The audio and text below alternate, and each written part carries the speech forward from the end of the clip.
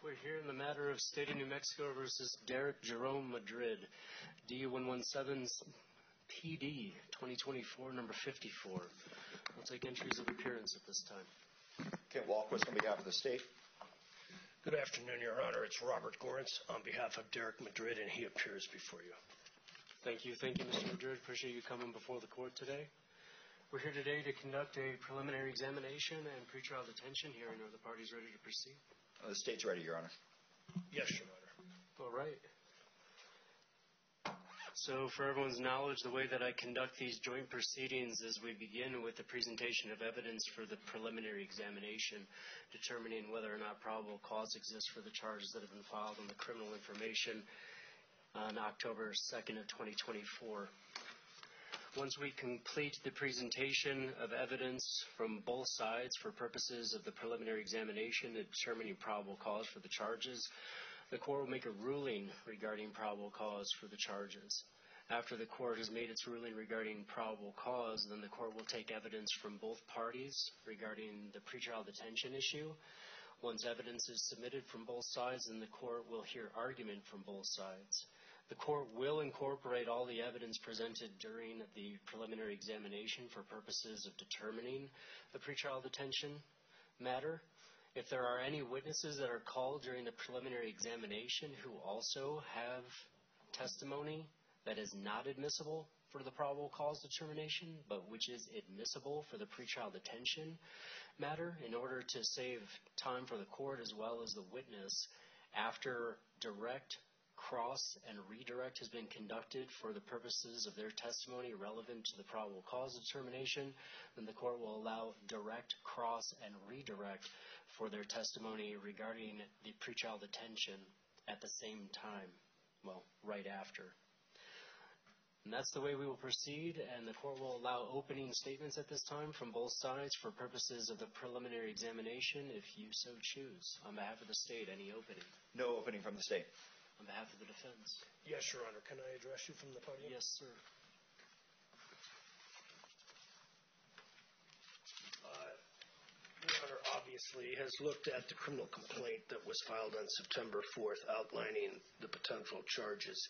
Um, in a nutshell, as you can see from the affidavit in support of the search warrant, uh, this all arises out of what starts as the rodeo up at the Lindrith rodeo grounds and a dance that then commenced after the rodeo finished. There's approximately two to three hundred people there, including off-duty Rio Arriba County deputies. Um, it um, the rodeo finishes without any incident. The dance is uh, they charge ten dollars per head for people to get in. Somewhat as it's finishing, you will see clips of a video where the defendant's brother Miguel, uh, uh, a 10th Army Ranger, served our country two tours, and hear about this. He's a big fellow, walking out with his wife, and uh, he he will testify as to this melee, this really uh, brutal armed assault. Starts as he's then defending someone else and then trying to help his wife. And the video shows there's about 10 to 12 assailants against him. He's bloodied, he's swinging, uh, but it is an armed assault against him. The video then captures Derik trying to assist his brother to get out of there because Derik's there along with his younger brother, Jonathan. And Jonathan and Miguel's wife, Marina, will be critical witnesses because Derik is, he pulls a gun. He's not a felon. He's not a misdemeanant. He has a constitutional right to possess that gun. And he has that gun out, never points it at anybody, and never fires it. But he is using this because uh, of the deadly force that is being perpetrated against his brother. He grabs his brother, they start getting out. This is where Derik gets into his truck, which is pointed out to the, it's on a dirt road, but out towards the highway.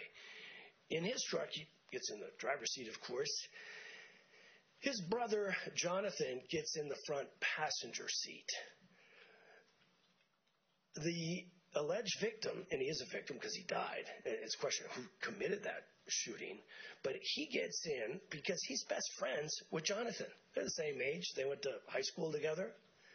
Realizing that they have to get out of Dodge quickly, although Trent was in his own truck, he jumps in the back of Derik's truck right behind him. On the other side, uh, on the back of the truck, the passenger side, Miguel's wife, Marina, and she's bleeding. Uh, her blouse is ripped, but she gets in the back seat. Miguel goes to his truck, but it's actually pointed the other direction. Derik tries to get out. At that point, no gunshots have been fired. And we will show this. It hasn't. Uh, Derik never fired. There's no gunshots fired right there in front of the rodeo and in front of where the, uh, where the um, concert was, the dance. It's not a concert, it was a dance. Derik gets out to almost the highway, and as he's going there, he gets stuck in a little. Uh, he doesn't get exactly high centered, but the truck is stuck. And it's at that point that there are gunshots fired at Derik's truck. Now, the state's going to concede, and, and what happens is that Trent was hit by one of those gunshots. Derik responds thinking that he's in mortal peril and defending himself and the people in his truck. At that point, he fires back at the assailants who have first started with this gunplay. Now, the state's going to tell you, and this is a very unusual case, and there'll be some very unusual um, theories with regard to felony murder and charged in count one, as well as the aggravated battery that they allege that Derik Madrid perpetrated against Trevor, or not just Trevor, but Trent, because the state's going to concede Trent gets hit with one shot. He's crouched over, and you'll hear because Jonathan's in the front seat. Marina's right next to him. He says, I'm hit, and it's a, it's a fatal shot. You can see we don't have the full autopsy, but it's been determined uh, was they through and through both lungs, severed his spinal cord. Uh, he died, and inevitably was going to die rapidly. At that point, uh, Derik gets the truck unstuck. His brother then flies ahead of him, and they're going down the road approximately two miles. At that point, uh, Derik gets in front of his brother's truck, pedals the brakes, and says, I got to stop, because they wanted to put Trent on the ground to see what's going on. You will hear Marina, who is in the back seat. She can't find a pulse. She can't find a pulse on his neck, wrist, neck. She actually, in the car, she puts her head, on, he's covered in blood, in an attempt to listen to a heartbeat. And she can't hear anything. They stop.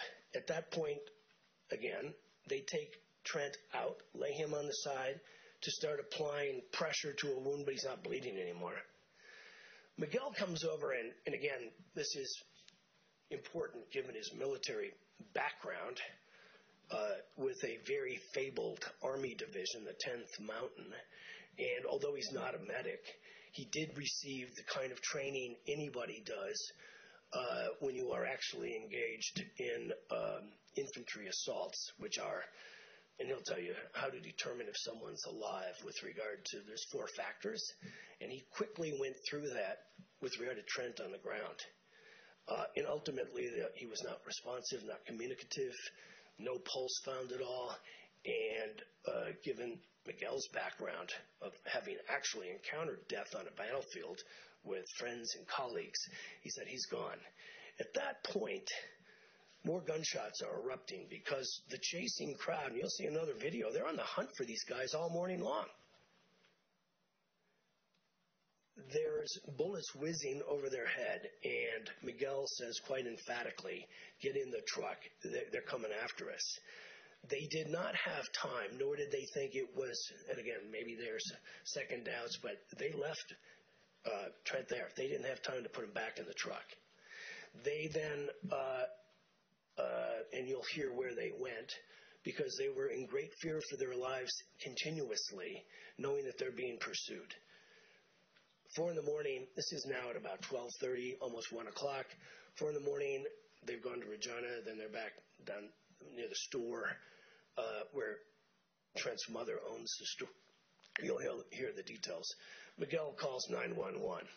First goes to Sandoval, then is told that this would be in San Miguel County, uh, excuse me, Rio Arriba. Thank you. Rio Arriba County. Uh, they cooperate, and the charges are filed three months later. On a case where the state concedes that Derik never fired a shot that hit uh, the passenger in his back seat, Trent Green. He didn't cause his death. And the state can articulate a felony murder, but again, New Mexico, and I've had a felony murder trial two and a half years ago, pretty up to date on some of the requirements in terms of how this, our Supreme Court has so dramatically limited that. But this is a case that I guess the state's theory is uh, Derik shooting, and there'll be a question again, uh, obviously for a jury, who shot first, because someone's entitled to defend themselves when bullets are coming their way. But somehow that makes it foreseeable that the other side, for which there's been no forensics yet, uh, who was the shooter? And, you can see there's bullet holes in Derik's truck. Two. They have a cartridge from one because it was in the doorpost that kind of went in close to the driver's side. But you will see that clearly the killing shot from whoever, possibly somebody in this courtroom. Very possibly. Because they've admitted they fired shots. But someone who fired at that car, you'll hear because Marina is right next to Trent. He's leaning over. They're crouched with their heads down, their hands over it. And he gets hit, which would be on the side of his chest through both, well, hit both lungs and severed his uh, spinal cord. And uh, that shooter, the person who actually killed him, he's not charged. And there's been no effort to date as to who that person is. So that's kind of the case in a nutshell. There'll be some legal issues, e- even after you hear the evidence, Your Honor, with regard to is there probable cause for felony murder on those facts, and I don't think I've embellished them in the slightest. But with that, I'm ready to proceed with the evidence. Thank you, counsel.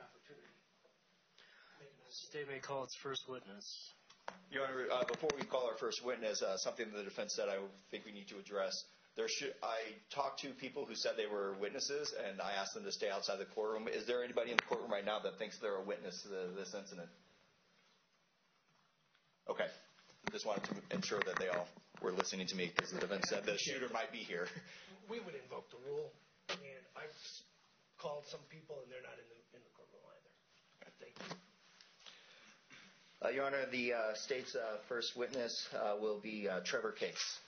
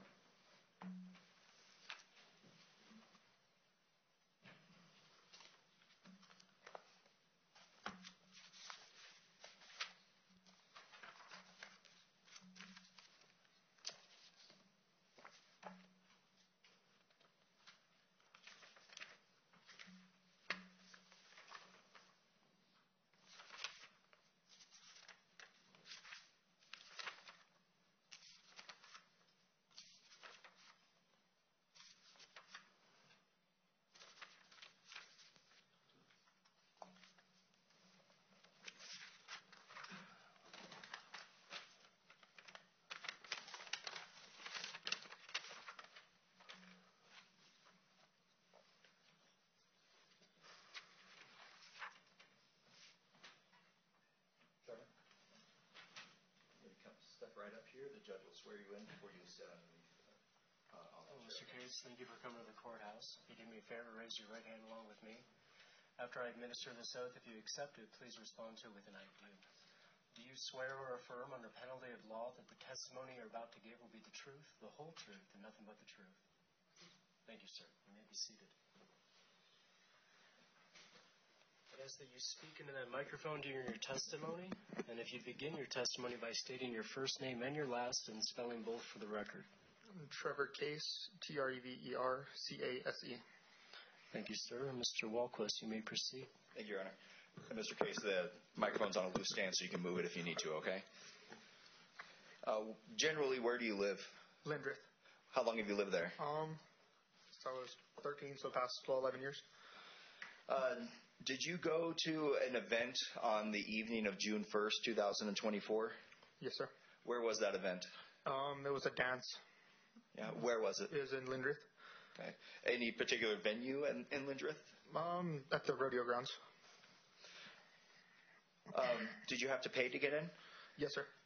Uh, was it like a nominal, like ten dollars, something like that? Um, so to get into the event, it was free, but to get into the dance, I think it was like ten or fifteen bucks. And you went into the dance part. Yes, sir. Uh, how many people were there?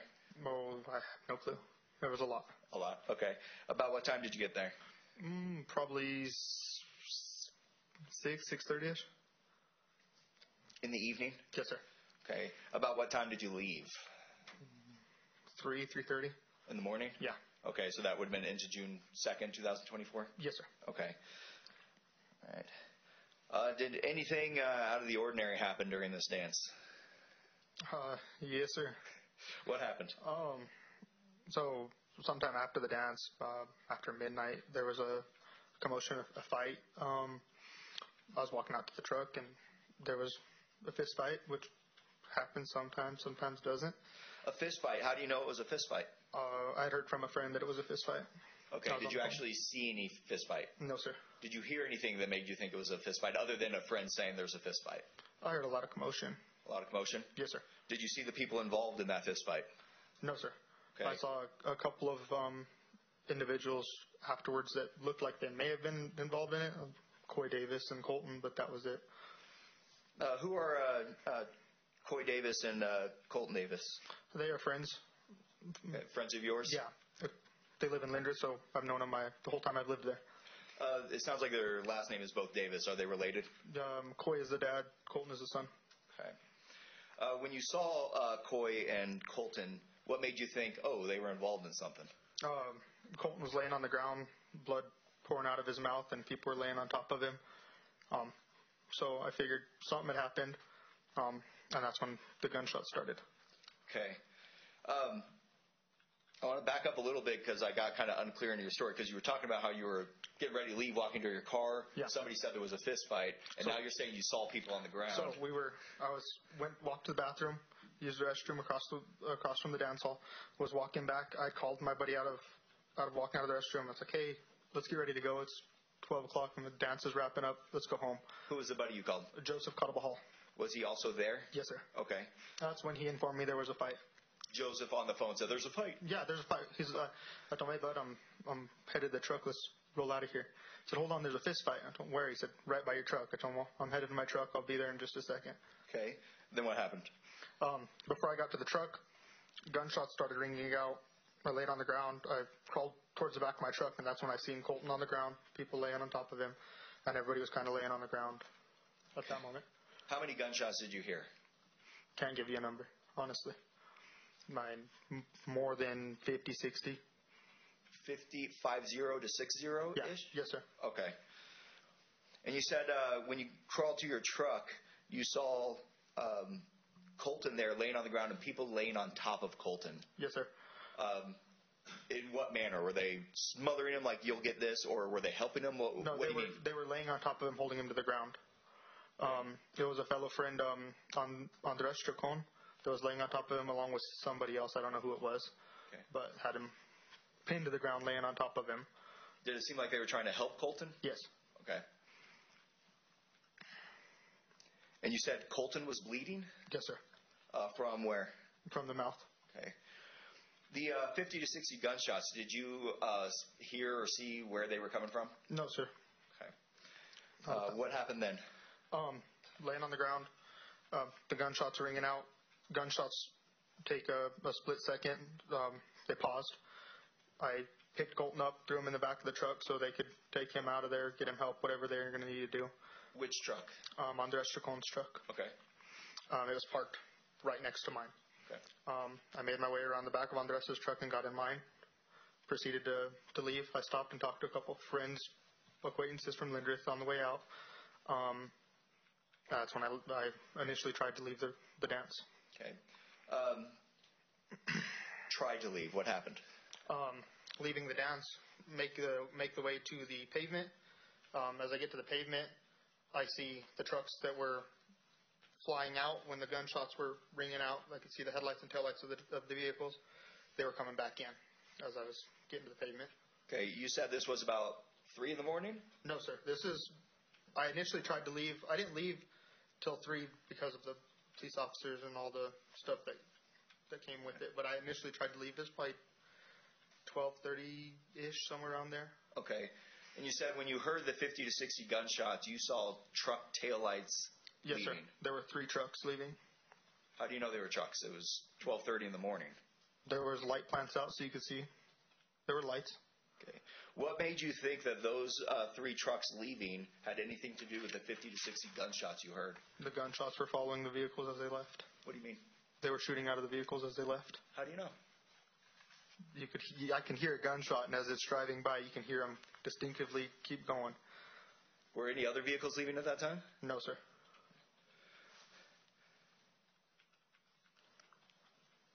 And you could see what kind of trucks they were? But my real quick, let me ask this. How can you be sure that after you kind of helped Colton into Andres's truck and then you started to get to leave and you saw trucks coming back, how do you know they were the same trucks is my real question. Just knowing that three trucks ended up leaving right before I left, and three trucks were coming back in, I knew relatively who, what was going on, what was coming back. What happened then? Um, the trucks pulled in. I took a left. I stopped. My driver's window was next to um, to Miguel Madrid's driver's window of his truck. Do you know Miguel? Yes, sir. Her acquaintance. Um, from around town? Yeah. Yes, sir. Uh, how long have you known Miguel? Roughly three years, Uh, how often would you see Miguel before this? maybe once a year, twice a year, Okay. if that. Okay. So you pulled up and saw someone you kind of know, Miguel. Yeah. uh, well, I, by the time I was leaving, pulling out, they had said that it was Derik and me, Miguel that they were fighting. So when I saw Miguel, I know Miguel's truck. When it was pulling back in, I stopped, I pulled up and talked to him.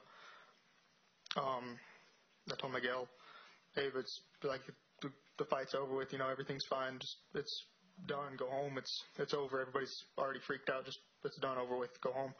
And he said, "F that. I'm gonna kill every one of them mother." And he proceeded to drive forward.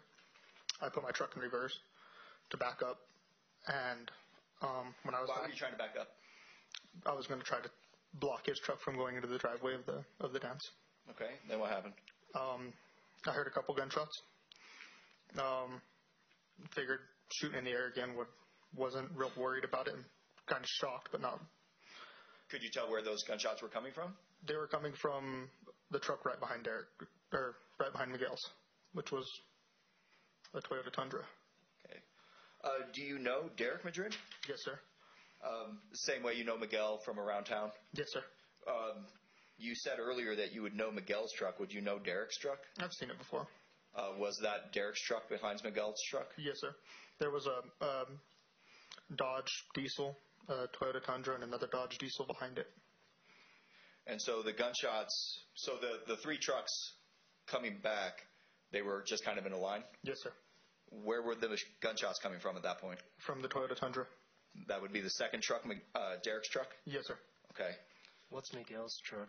Miguel's truck is a third gen Dodge, probably like a rough guesstimate, uh, 05, 06, somewhere in there.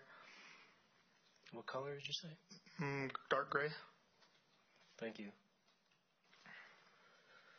How many shots did you hear coming from uh, Derik Madrid's truck? I heard the first three. I heard three, four shots um, at first. Um, then I heard ping, ping, ping, and windshield shattered on my truck. Um, when the windshield shattered in your truck, did anything get on you? Glass.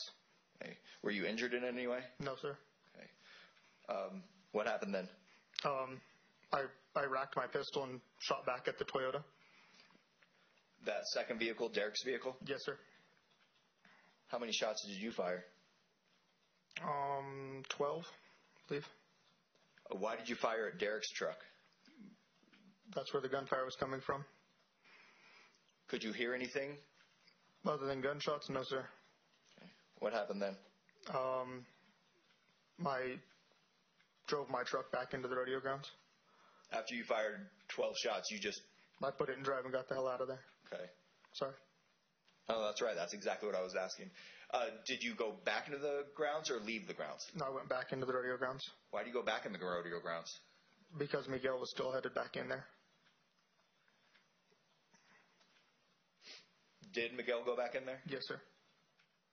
Uh, when, in relation to the gunshots coming from Derik's car and you firing back to Derik's car, when did Miguel go back onto the fairgrounds? He was driving into the fairgrounds as the shooting was happening. Could you see any anybody inside Derik's vehicle? No, sir. Okay. What happened when you uh, turned around to go back into the fairgrounds? Uh, the only thing I could see from the Toyota was fire flash from the passenger side and fire flash from the driver's side coming out the driver door and the passenger door, shooting towards my truck. But that's that's all I could see as far as other than the truck. Okay. And then you fired 12 rounds back? Yes, sir. Okay, then what happened? Um, I passed Miguel going back into the rodeo grounds, parked my truck in front of the door, and in front of the big, there's a big bay door that you walk into. I parked my truck in front of that and ran into the building. Did you keep your pistol with you when you ran in? Yes, sir. Uh, how many uh, rounds does your pistol hold? That particular magazine held 15. Okay. So you didn't empty it? No, sir. Okay. Did you reload while you were running inside? I did load a eight round mag into the into it. Okay. What happened after you ran back inside? Um, Miguel drove through through the the area, kind of the crowd of people and stuff, turned around and went right back out. Did uh, Miguel still have his window down while that happened? I'm not sure. Okay. Did you hear him saying anything or see anything? Can't. I can't recall. Okay. Did you uh, see anybody else fire any shots? No, sir. Okay.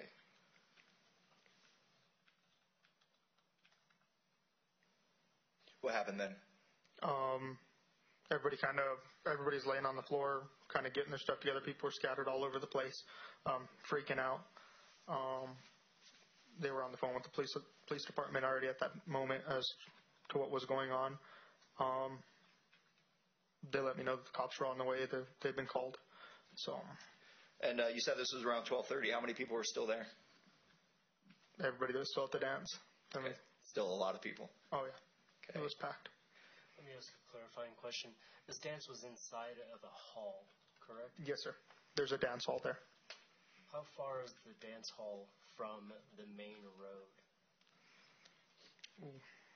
I have. I don't. I can't give you an exact answer on that.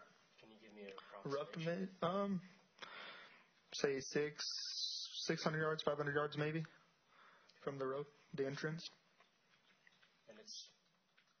And it's one long driveway? Yes, sir. One single dirt road in there. Okay. You may proceed. Did you see anybody else with guns out? No, sir.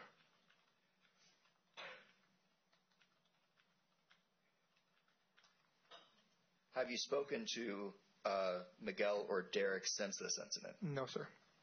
Did you uh, stick around and then talk to officers when officers arrived? Yes, sir. Okay.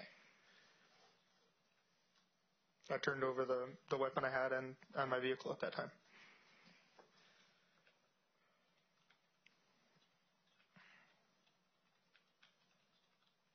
One moment, please, Your Honor. Yes.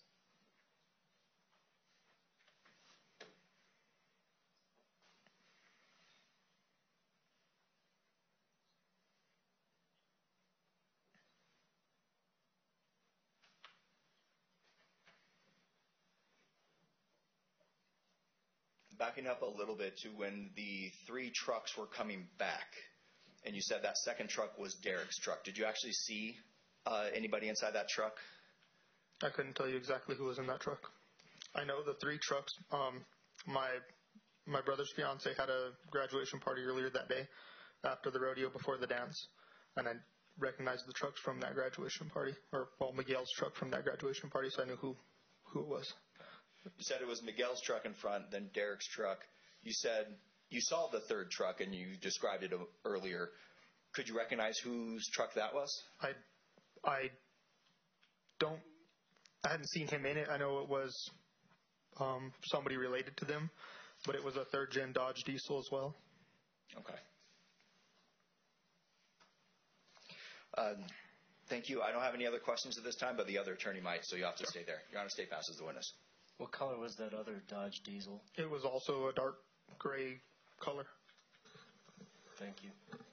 Uh, You may proceed with cross-examination. Thank you, Your Honor. So, Mr. Case, were you there, um, if you're there at 6, you watched the rodeo until that ends at about 8 or 8.30, right? No, sir. The rodeo started that morning, roughly seven, eight o'clock, somewhere around there. All day long. Yes, we left. We ended up leaving the rodeo grounds to go to the graduation party. Okay. Then you came back, and you said you got back at approximately 6? Yes, sir. Okay. And what time did the dance start then? Mm, I want to say eight. Okay.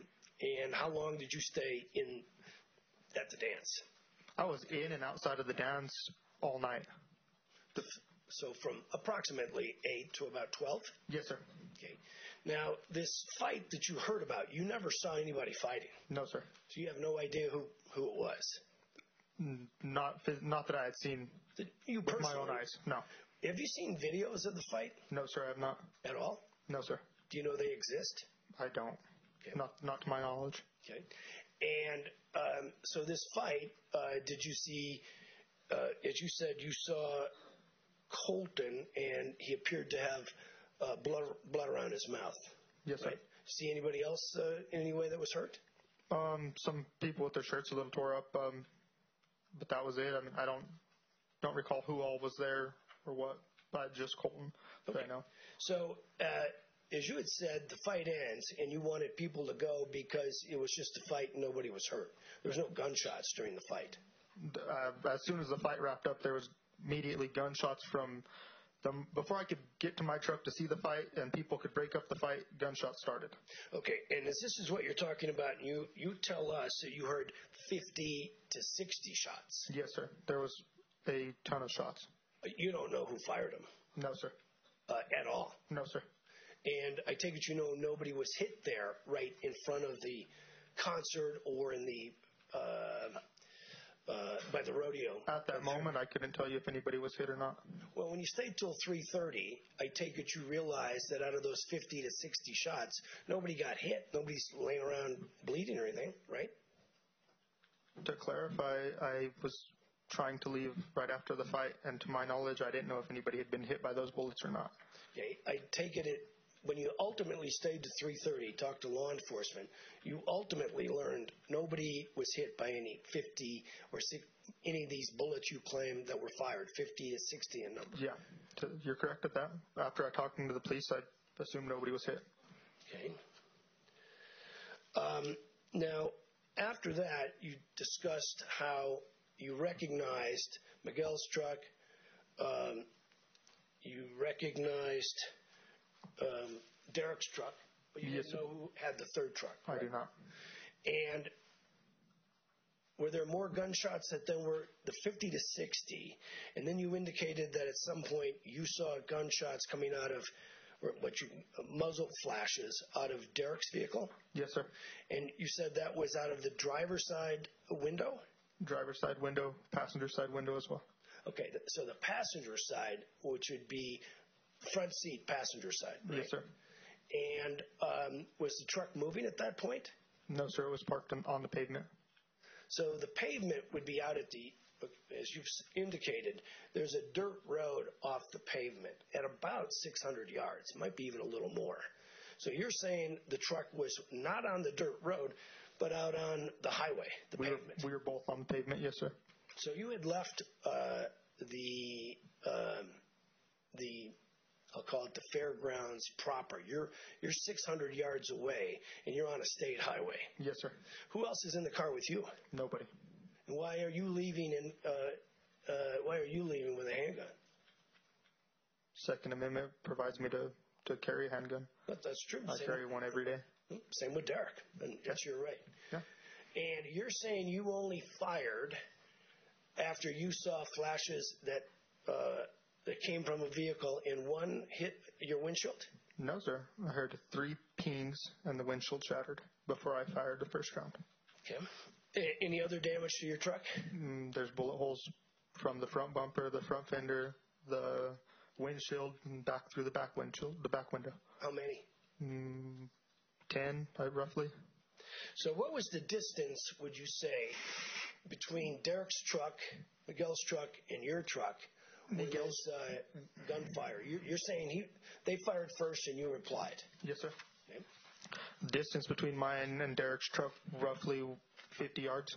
Okay. What kind of gun did you have? I had a 40 um, Glock, 40 caliber. What model Glock? I think it was a G17. G17. It's a compact 40. Your first magazine carried uh, had 11 cart, excuse me, 15 cartridges. Yes, sir. And you would have had three left, and then you put another mag in with eight, a smaller one. Yes, sir. Did you fire the second mag? No, sir. I never chambered the second mag. Uh, I take it um, as you've surrendered your gun. We don't have the forensics, but did you know that your shots? Uh, did you know that they hit Trevor's vehicle? I'm Trevor. Excuse me, Trevor. Uh, Derik's vehicle. I have no clue if they did or did not. you don't know if they hit or not. No, sir.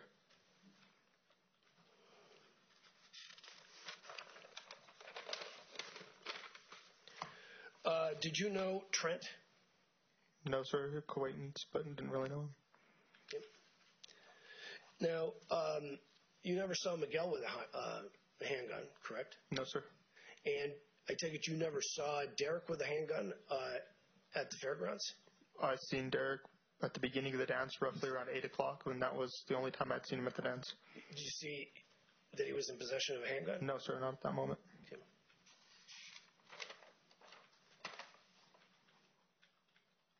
Now, um, at some point uh, after 12:30, were you aware there was a group of people trying to find Derik? No, sir. Not aware of that Not at all. to, not to my knowledge, no. Okay.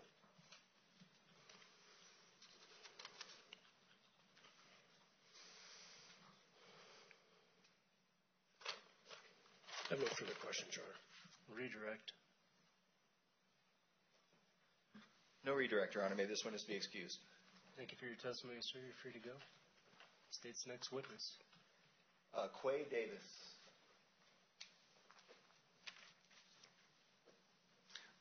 Before he comes, Your Honor, I have a thumb drive, and I didn't bring a laptop. I was told I didn't need one.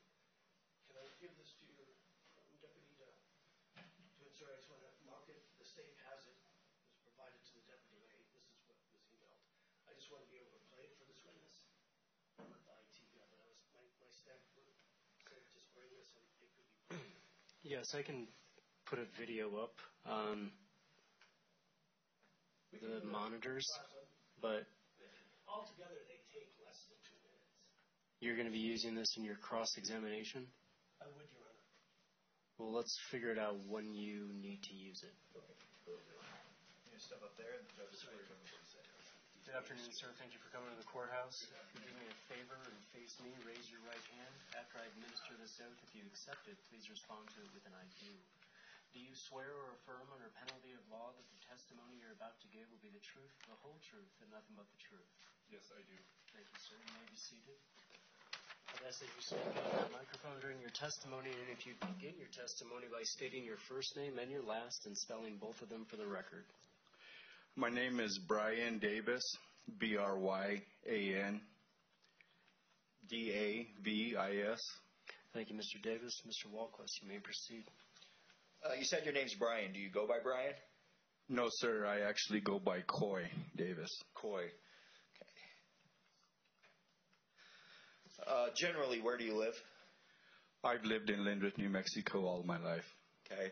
That uh, microphone's on a loose stand, so you can move it if you need to. Um, did you uh, go to uh, a an event, a dance, on the night of June 1st, 2024? Yes. Where was that? The Lindrith Rodeo Grounds in Lindrith, New Mexico. How many people were there? It would be hard for me to tell you, boss. Hundreds, you know, I would say two, three hundred. I'm not really sure. Okay. Um, did anything out of the ordinary happen at the dance? Yes. What happened? Um, I would say around midnight, maybe a little before, a little after. Uh, there was a dance, a rodeo dance in Lindrith, and uh, me and my wife actually went to leave the dance and went outside of the the actual dance hall to outside. And there was a little altercation with my youngest boy and another guy named Ricky Hawkes. Okay, I'm going to pause you for a moment so we can clarify everybody. What's your wife's name? Katrina Davis, Okay. And your uh, youngest boy, what's his name? Connor Davis. Connor. Okay. All right. And you said, so Connor and somebody got into an altercation? Yeah, there was quite a few younger gentlemen outside, and uh, I know this Ricky Hawkins. He's actually a friend of my older son, Colton Davis, and he was uh, kind of getting a little aggressive with my youngest boy, and I went outside to talk to Ricky about that. How old's Connor? 15, Okay. How old's Colton? 22. Okay. Uh, where was this altercation taking place? Because you said you went outside. I would say approximately 50 to 75 foot from the the entrance to the dance hall. Is that in like a parking lot area, a pathway to a parking lot? In the parking lot area. In the parking lot. Okay. What was going on between um, Connor and Ricky? Wrestling, rolling around aggressively, and uh, I went to tell Ricky that he's too old to be uh, putting his hands on my boy, my youngest boy. Uh, and you said Ricky was actually friends with your older boy Colton, who's in his early 20s. So how old's Ricky-ish? Still is. He's he's a family friend of ours. Okay. Um, how old is Ricky? 22 approximately. Okay. Uh, early 20s, and so this early 20s guy, family friend, wrestling with your 15 year old, you thought, hey, that's too rough, and you went to break it up. What happened? um, went to break it up, and I told Ricky, you know, don't don't put your hands on my boy. You know, I was up up against Ricky too, real close. You know, face to face with Ricky, and another gentleman come up to us that I did not know and kind of bumped me and pushed my older son. Colton? Correct. Okay. Uh, and you don't know who that person was? At the time, I didn't know who it was. I had never met the guy. Now I, gonna pause you. I've heard. You've heard from other people. Correct. I'm not going to ask you what other people told you, okay? Okay. All right. So this at that time, some guy that comes up that you don't know comes in and pushes Colton. What happens then? I believe my oldest boy hit him.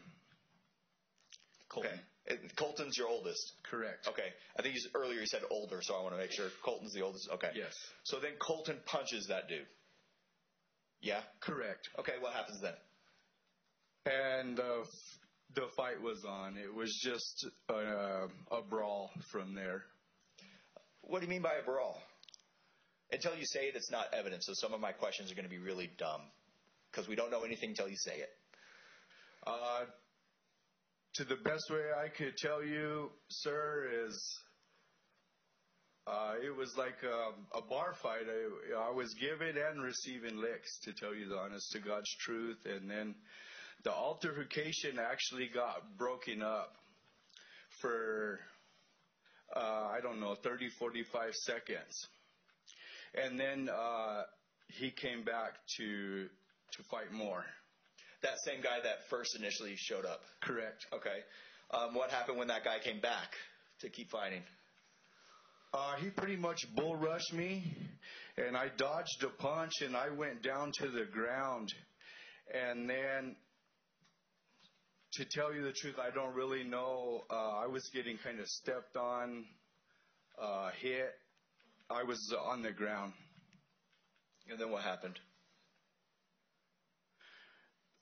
I was on the ground for I don't know, probably it's hard to tell you how long, sir, but by the time I come back up off the ground, I was a little dazed and confused to tell you the honest to God's truth. I don't really some of that is a blur. When you got up, because you described this fight kind of starting with Colton and that guy you didn't know at the time. When you get up, where where are Colton and that guy? By the time that I get up, my son is on the ground with uh you know, bleeding from the nose. And I want to be clear because you got a couple of sons. My there. oldest son, sorry Colton, about okay. that, Colton. All right, so Colton's on the ground after you get up, and you said you saw blood on Colton? Yeah, he was bleeding from his nose. Okay. Where was that guy that kind of initially approached? By the time I got off the ground, I, I don't really know, boss. I Okay, that's fair. I only want you to testify to what you know. Okay. Let me ask a clarifying question. Do you know how many people were in this fight? I do not. You identified Connor and Ricky being there. You go and confront Ricky. Your son Colton is now by your side when this unknown male pushes you and a brawl ensues. Were all those people that I just described, in recalling your testimony, involved in this fight? Or was it just you and this male and Colton? Um,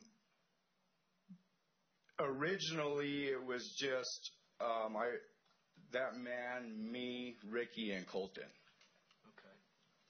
Do you believe that after the initial group of people in the fight that others came? Yes, Your Honor. Do you know how many others? I could not tell you. Thank you. It was it was a few. Okay. So I want to clarify what you saw after you got up, dazed and confused, but you see Colton bleeding. What happens then? Um, it's pretty chaotic. Uh, m- I go to try to round my family up, and pretty soon uh, I hear there's a gun. There's a gun. A guy has a gun. Could you tell who was saying that? Uh, several different people. Did you see a gun at that point? No, sir. Up to that point, had you heard any gunshots? Not up to that point. Not yet. And up to that point, had you seen a gun on anybody? No, sir. So you hear some people yelling out, he's got a gun, there's a gun, that he's got a gun. What happens then? Um, I'm kind of rounding my family up, and then I would say, I don't know, maybe 30, 45 seconds go by, and I hear a vehicle leaving, shooting, shooting out of the vehicle is occurring. Okay. I'm going to break that up a little bit. You said you heard a vehicle leaving. Again, until you say it, it's not evidence, so these are dumb questions. What do you mean you heard a vehicle leaving? L- let me rephrase that. I see a vehicle leaving, and I hear gunshots coming from that vehicle. How do you know that gunshots are coming from that vehicle? It's the only one leaving fast there, and it's the only one that the gunshots are that you can hear from. Uh, what kind of vehicle was it? Too dark to tell. Okay. Uh, and you said it was just one vehicle leaving? As far as I can remember, Okay. Um, could you see anybody inside that vehicle? no. How many gunshots did you hear?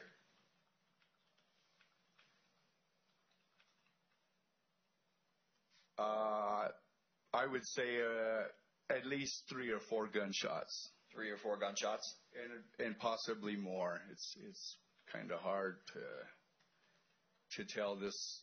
You know, it's been four months, so I can't tell you exactly how many shots. Fair enough. Uh, how far away from that uh, vehicle were you when you saw it leaving and heard the gunshots coming from it? Uh, 150, 200 yards approximately. That seems pretty far away. Correct.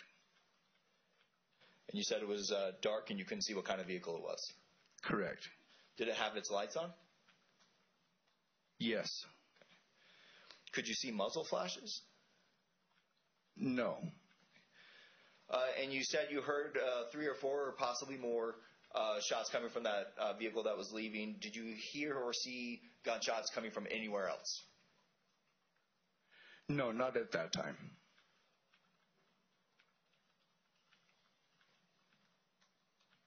How did you react when you heard those uh, gunshots?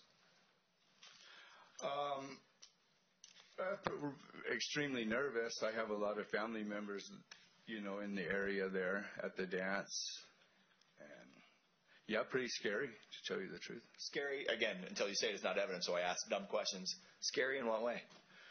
Well, you know, we were just in an altercation and a, a vehicle leaves firing rounds. It's just, it's, you know, it's not a typical situation that I've been in, I guess you could say.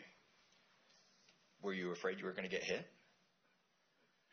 No, not not as they were leaving necessarily. When they come back, for sure. Oh yeah. Okay, we'll get to that. Okay, um, as they're leaving, you said three or four, possibly more gunshots. What happens then? Um, I'm rounding up my family, and we are fixing to leave, and then it seems like Trevor Case come back in there saying that they were going to come and shoot us. Do you know Trevor Case? Yes. Um, how soon after you saw that vehicle leaving and the three or four, or possibly more gunshots going off from that vehicle as it's leaving, how soon after that happens that Trevor Case comes and says that to you? Uh, it had to have been minutes. You know, it wasn't very long.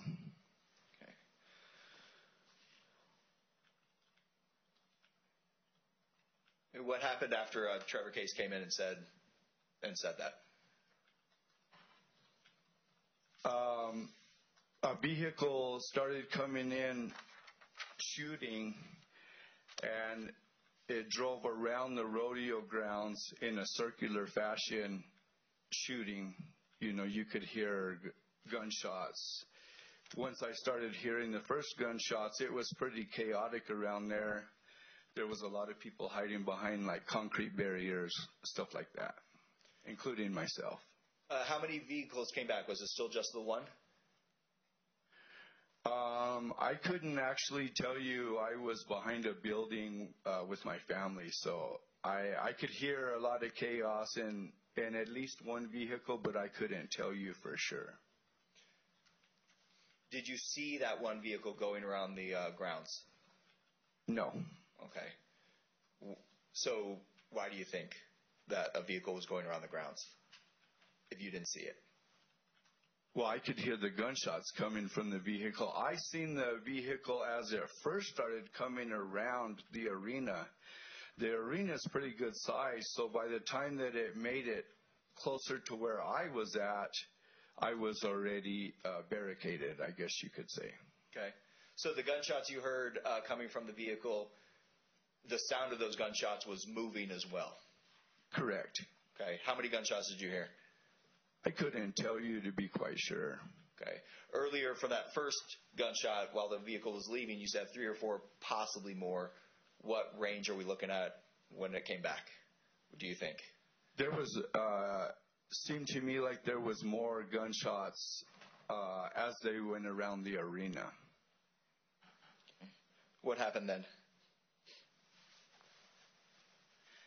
After the vehicle left around the arena, everybody said that it left, and I gathered my family up, plus some other young kids, and I went home. How young were those young kids? Uh, we had quite a few people at our residence that night, and I would say we had everywhere from 12 years old to 22, 23 year old people there. Did you stick around for the officers to come that night? Uh, no, I I went home. Okay. Uh, did uh, uh, Colton go home with you? Correct.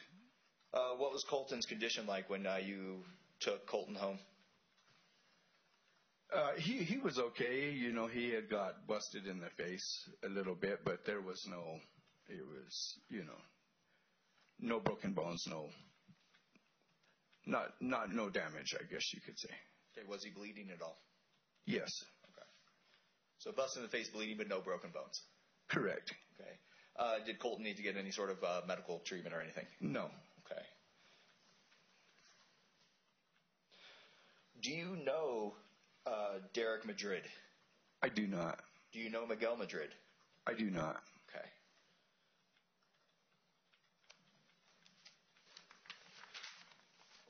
One moment, please, Your Honor. Yes.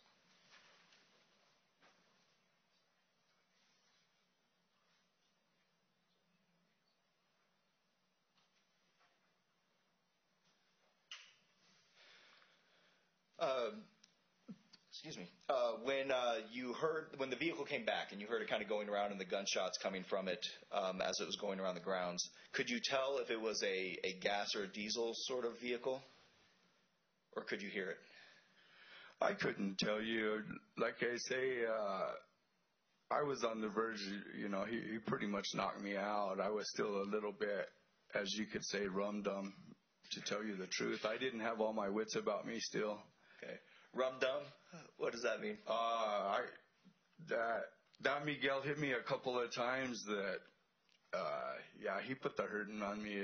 Okay. To tell you the truth. You just said that it was Miguel that hit you, but you did you didn't know who hit you before. you heard later that it was Miguel. I guess I could rephrase that. I heard that from my wife that it was Miguel that had hit me. Okay, but you don't know Miguel Madrid. No, and I don't know for a fact it was him, the one that hit me either, sir. I mean, I was on the ground, and I I, I had gotten hit a couple of times in the back of the head. Don't know who it come from. Fair enough. Okay, thank you. Okay. Uh, I don't have any other questions for you at this time, but the other attorney might, so you have to stay there. Your Honor, stay past as a witness. Cross-examination. Thank you, Your Honor. Uh, So, Mr. Davis, this, uh, initially, this fight starts uh, when the, Uh, the dance is over, somewhere around midnight? Yeah, I don't think the dance was quite over, sir. I, we were just leaving from the dance. Okay.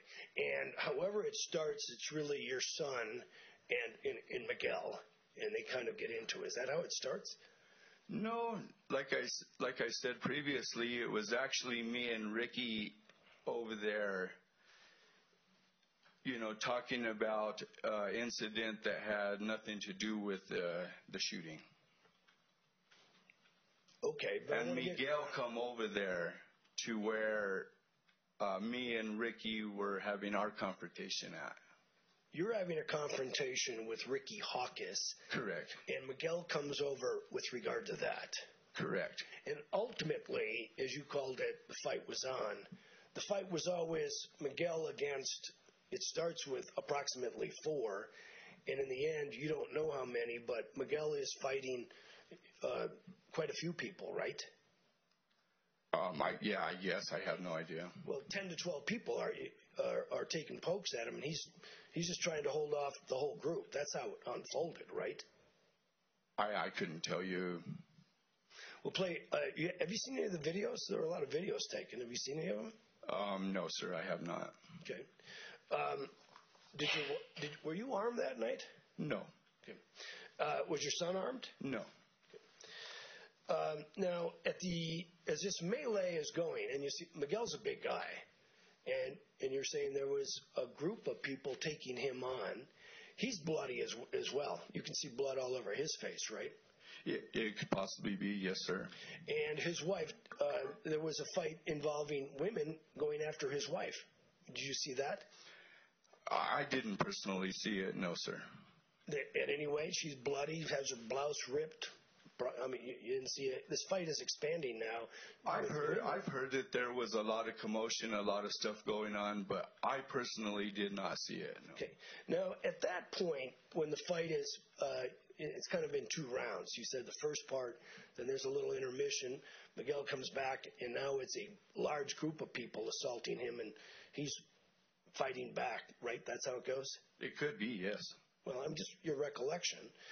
At that point, do you ever hear 50 to 60 shots fired in that proximity? At that point, do you ever hear rounds going off like that? Why the fight's going on? Or when it's shortly thereafter? 50 to 60, right in that proximity. Do you ever hear that? There was a lot of there was a lot of gunfire. I couldn't tell you the exact number. Well, okay, because you talked about hearing three or four shots from a truck that came back, and we'll get what's going on. But you're saying at the time of the fight, you actually hear gunshots going off all over the place? I never did say that. No, not not when we were fighting. Okay, shortly after the fight, did you ever hear 50 to 60 shots? No. I heard a lot of shots. I can't tell you the number. I wasn't counting them. Um, now, when you indicated that you saw this truck, which you couldn't identify, and saw that there were gunshots that you perceived coming from that truck. Was that on the dirt road or was that on the paved road out by the, the highway? Where was that? The dirt road, leaving the rodeo grounds. Okay, and from where the dance is and the and the fairgrounds, how far is that from the paved road, the highway? I I don't know. Would you put, 300 yards, maybe. I'm not. I'm not positive. or it could be more? 'cause six, it- you don't know. I don't know. Okay, but you're saying you saw the only gunshots you saw came from a truck that came back on that dirt road. Is that what you're saying? I heard gunshots when I was leaving, or as they were leaving after the fight had occurred. There was gunshots leaving directly after the fight, 30, 45 seconds afterwards. And you don't know who was firing those? No, I do not. A- a- Anybody? Uh, d- didn't see them? Did you see people with handguns out that night Uh, No, personally, I did not. at all? No. Uh, I'd like to get some clarification on this sequence of gunshots. Are you able to tell the court how many gunshots approximately you heard No. at that time? I couldn't tell you the exact number, no, sir. You said previously three to four gunshots. Is that referring to this sequence of gunshots or a different sequence? That was there wasn't as many gunshots when they were initially leaving after the fight. When they came back after Trevor told us they're coming back to shoot, that's when more gunfire happened than the first time when they were leaving. When they came back is when I heard more gunfire.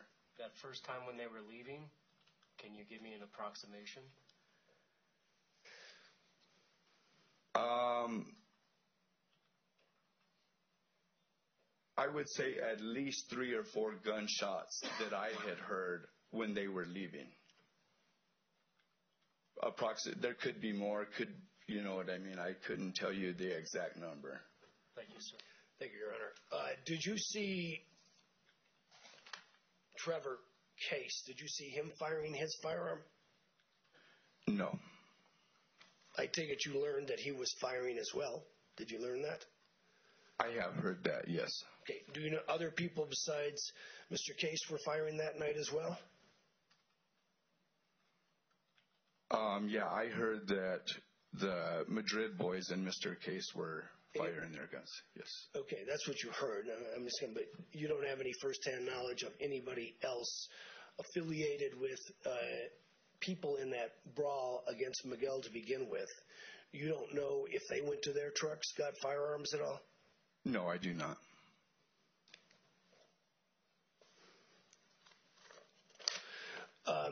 Did you have anything to do with finding Trent Green by the highway? Were you involved in that in any way? No, Uh, did you ever see Derik Madrid's car getting shot up? Did you ever see that? no. Uh, Your Honor, this would be a good time just to play this very brief thumb drive, if we could. Uh, just mark it as Defendants A. It's been provided to the state. And, and really, all it Parties shows. approach. Yes, Your Honor.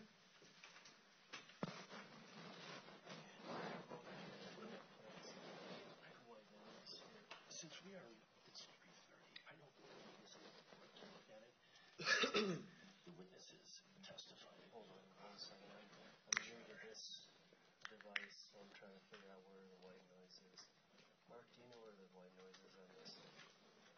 I've seen the touch screen before. Usually the button's on the side. Do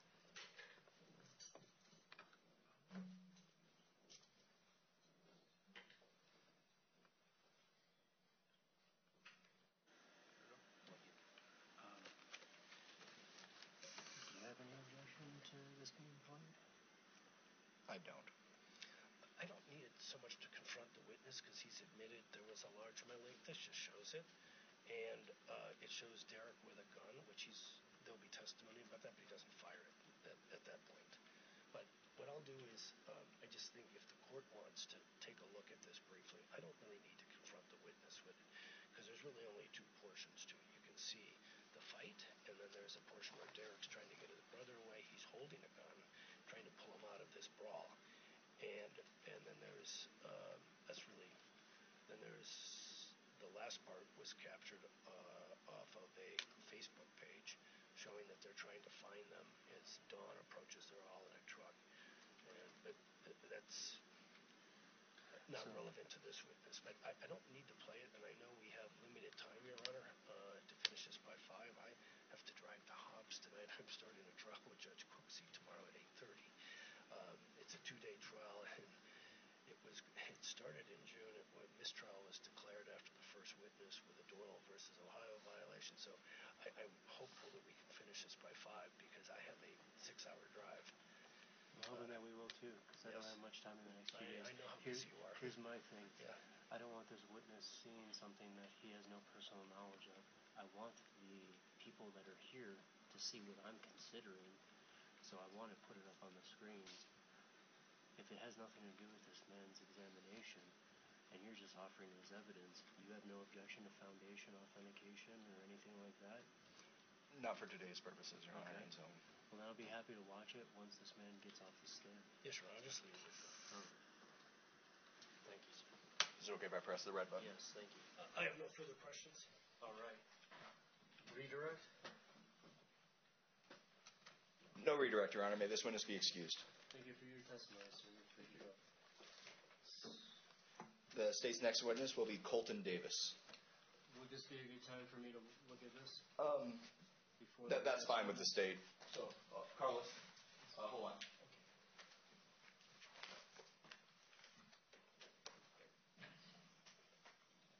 Can I put this up on the screen from here?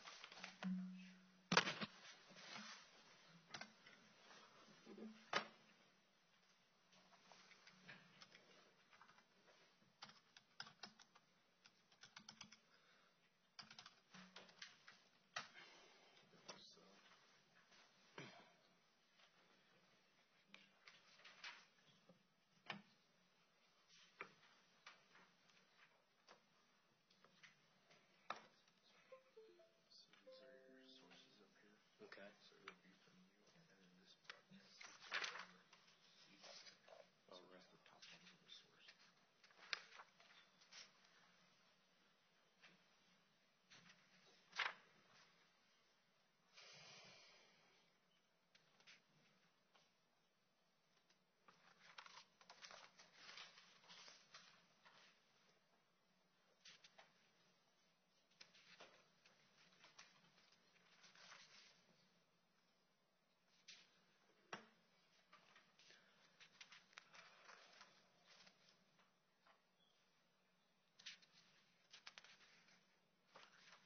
Come here for a moment.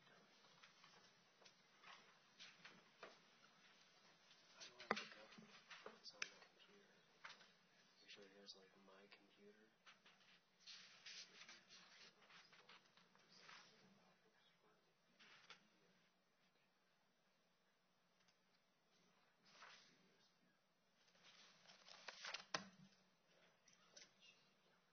All right, thank you.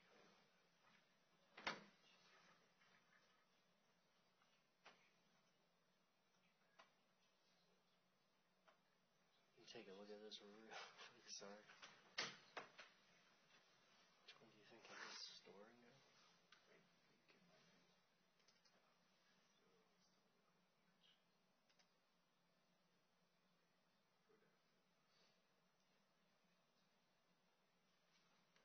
Yeah, why isn't there just like that? All the different drives on the computer, you know?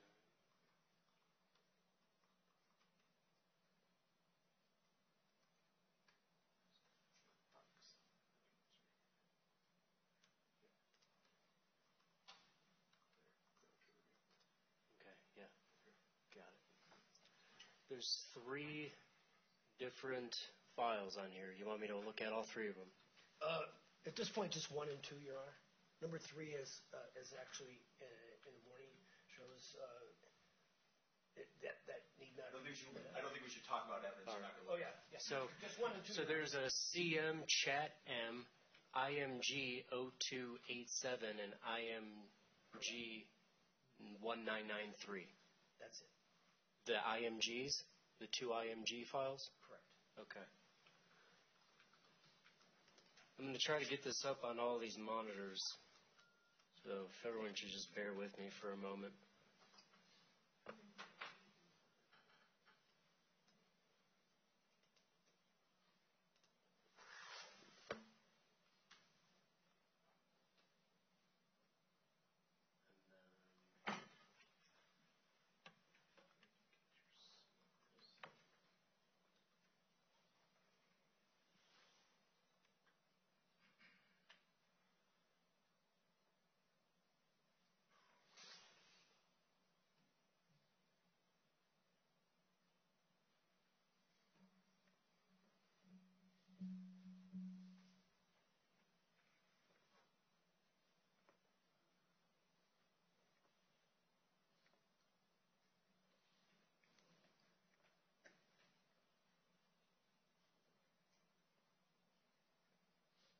Is there anything on your screens? May I approach and look at the witness? Yes. I don't see it there.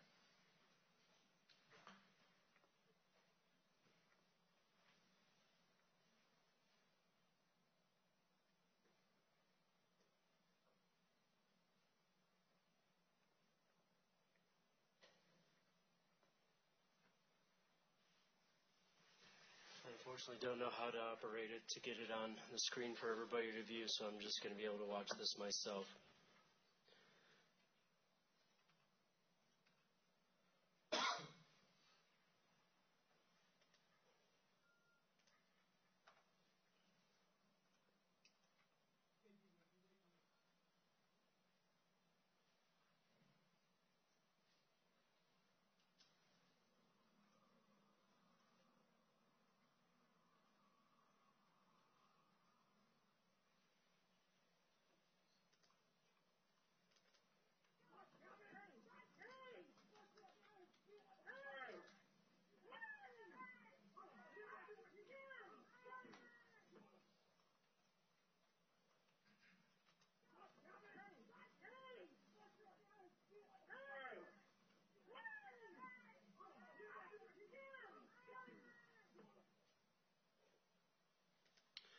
Just to confirm, what I just watched looked to be like a, well, it was a fistfight between a group of men.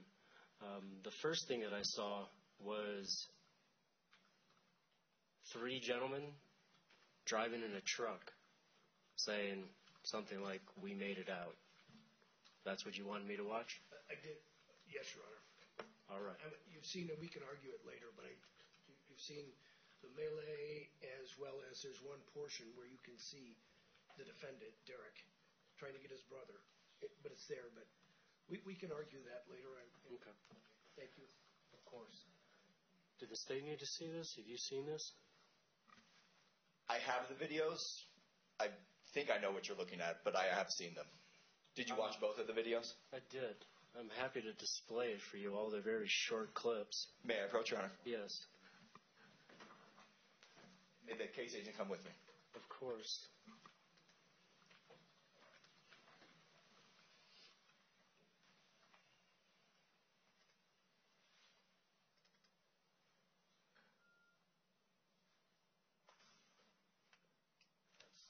Actually, not.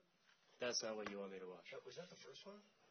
That's the second one, but it's one of the IMGs. That was the third, but, okay, that's, Okay.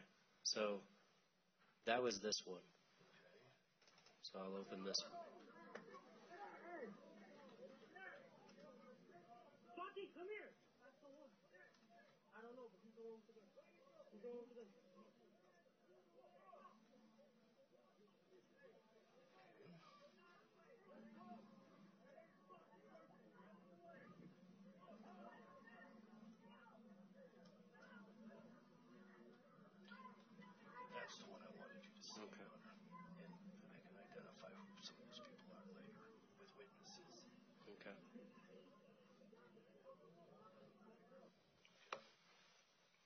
and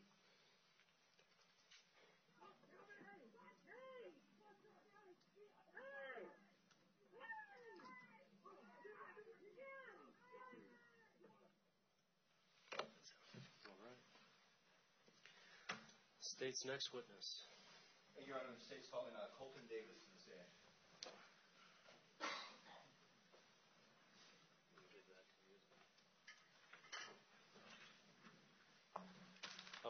We're, we're going to keep, we'll keep that, Yes. because that's evidence. Yeah, uh, yes, Your Honor.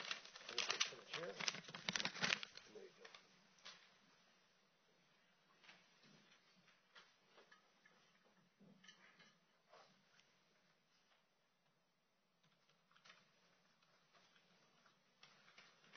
Hello, sir. Thank you for the coming to the courthouse.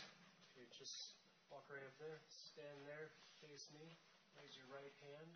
After I administer this oath, if you accept it, please respond to it with an I do. Do you swear or affirm under penalty of law that the testimony you're about to give will be the truth, the whole truth, and nothing but the truth?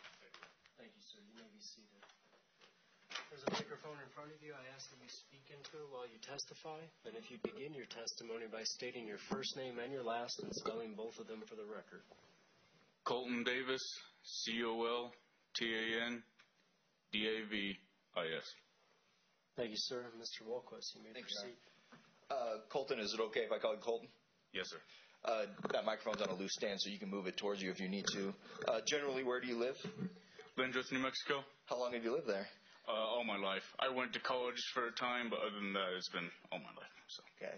Uh, did you go to a, an event on the night of June 1st, 2024? yes, sir. Where was that? Lindrith, New Mexico. Uh, was there a particular venue in Lindrith?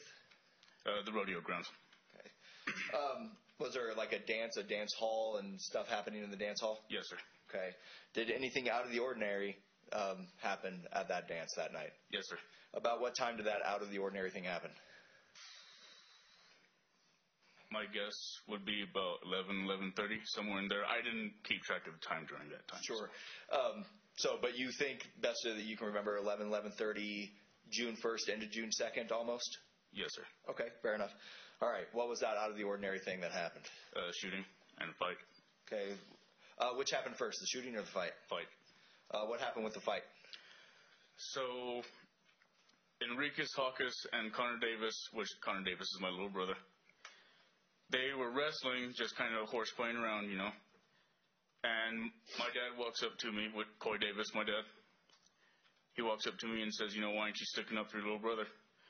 And I said, you know, they're just messing around, you know what I mean? And he walks up to Ricky and grabs him and slams him against the truck and says, you know, hey, what are you doing to my little boy? And Rick, me and Enriquez Hawkins have been best friends for a long time, since high school. So he throws his hands up in the air because he's got a lot of respect for my dad. And he says, you know, it wasn't like, wasn't like that, Coy. We were just messing around. And my dad let him go. And they were kind of starting to have like a little man-to-man talk, you know. And then Miguel Madrid stepped in between my dad and Ricky. And that got me mad. I'm going to So- pause you for a second. Because you said you knew Ricky since high school. Did you know Miguel Madrid? No, sir. Uh, so when you say Miguel Dr- uh, Madrid stepped in, you just saw a guy step in and you've heard since then that that was Miguel. Is that right? Yes, sir. Okay, all right. So this guy steps in between uh, Ricky and your dad. What happens then? They got me mad. And I walked up to him and basically said, you know, this isn't none of your business. This isn't yours to be concerned with. And he pushed me, and I laid one into him, and fight broke out from there. Uh, this guy, uh, compared to you, what? How big is he? He's kind of stand up and Yeah, please, uh, if that's okay with the court. I guess would be somewhere, you know, right in here. Okay. And so, did you swing up and hit him in the face? Yes, sir. How'd that go? I laid one into him, and then we we were all brawling from there. He got me a couple of times. I got him a couple of times, and Um, so it kind of started out with just you two, you and that person that you're saying people told you was Miguel. Uh, just you two. Is that how it just started, and then did it escalate from there? So okay, I punched him, and like I said, just broke, just kind of exploded. I guess you could say from there. So it was at first, that first few seconds, you know, it was me, my dad, and Ricky, and then Miguel on the other side, and then people just kind of started piling in, you know. Okay. When you say people started piling in, um, do you know any of these people that were piling in? A, hand, a pretty good handful of them, yes, sir. Okay. Um, what happens as these people start piling in? I mean, people. So, uh, from my account, I got slammed, not like slammed into the truck, but like tossed onto a truck, kind of. By whom I can't recall. And I'm down on the ground. I get up, and there's somebody fighting my dad. Again, I can't re- recall in that exact moment who it was. All I saw was somebody fighting my dad. So I go and lay another one into him, whoever it might have been. I don't know if it was Miguel in particular or who it was exactly. Okay. But we're fighting, fighting, and towards the end of my involvement in the actual physical fight, I had somebody in a headlock. I believe it was Miguel Madrid, but Okay. You It believe a it was that first guy that stepped between Ricky and your dad? yes, sir. Okay. That's what I recall. Yes, sir. And there's there was blood on my shirt, and it was actually this very shirt that I'm wearing today. And I don't know if you can do any testing on that or Have anything you like watched that. it since this incident? I have, yeah. I don't know if there's still something there. Or, Uh, we can talk to the officer about that later. Okay. Um, but it was that shirt you were wearing right there? yes, sir. Okay. And uh, we're being recorded by audio, not visual, so it's kind of a bluish, kind of checkered shirt. Yes, sir. Okay. Um, so you have somebody in headlock. Might have been that guy that stepped between Ricky and your dad, but blood got on your shirt. What happens then? So, okay. I have my headlock. He gets loose. I get him again, and I have him for, you know, a moment, you know. I have him good. Matt Stevenson grabs me and pulls me out of the fight.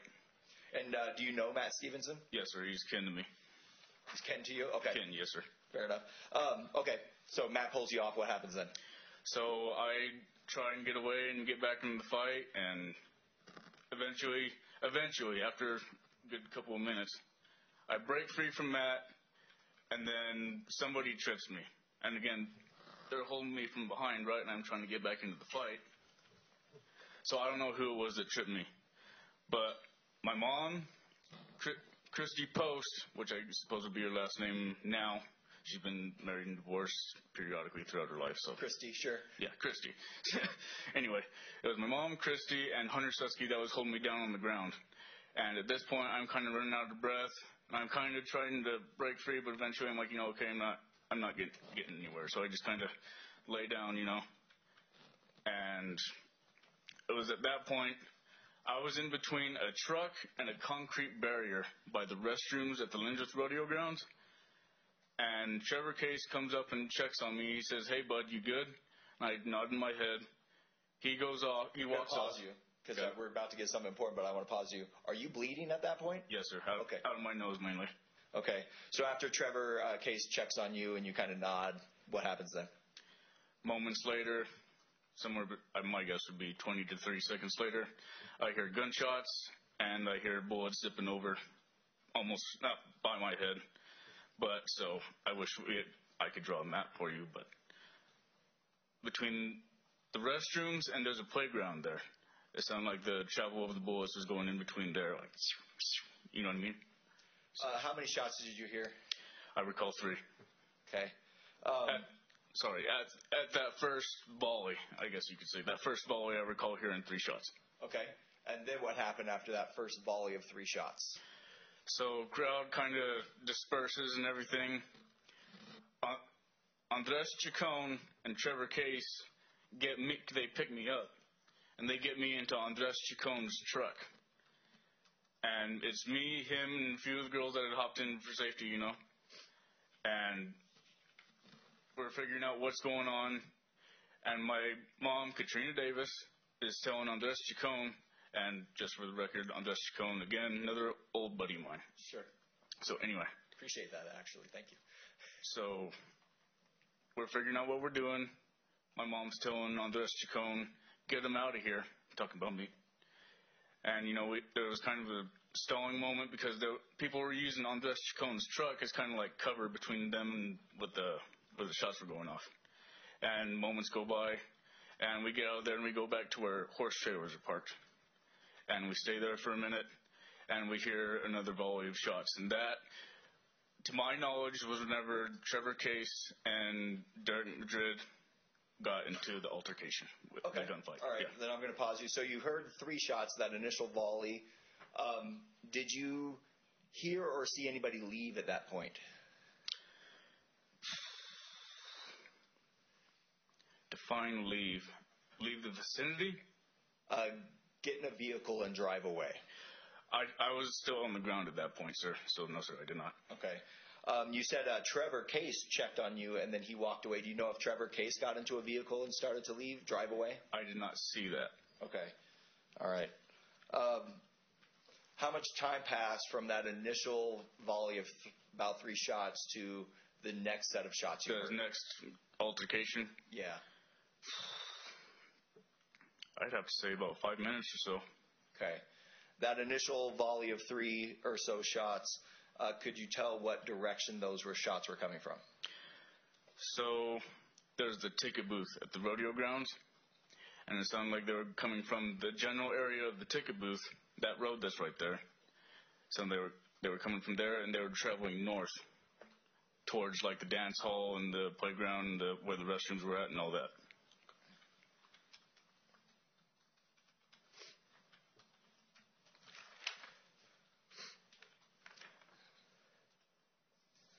Um, I think we established earlier, earlier you don't know Miguel Madrid and you heard that name later. Do you know a Derik Madrid? Yes, sir. Did you know Derik Madrid on that night? Yes, sir. Uh, how do you know Derik Madrid? We had hung, or I say hung out. We had partied together in the past. Okay. Do you see uh, Derik Madrid in the courtroom right now? Yes, sir. Uh, I want to make sure we have the right person in the courtroom. Uh, could you point him out and describe something he's wearing? He's right there in the orange suit. Uh, Your Honor, let the record reflect the witnesses identify the defendant. The record will so reflect. Did you see Derik Madrid on that night, June 1st into June 2nd, 2024, at that part, at Yes, that sir. dance? Yes, sir. Um, when did you see him? I had first seen him. We were we were enjoying alcohol, and I gave him a shot.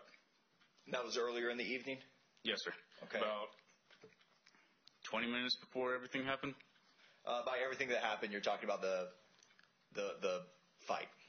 Before the breakout of the fight. Yes, sir. Okay. Did you see uh, Derik Madrid uh, during the breakout of the fight? No, sir. Not that I recall. Okay. At any point during anything, did you ever see Derik Madrid? Not that I Uh, during the fight, excuse me. Not that I recall. Okay.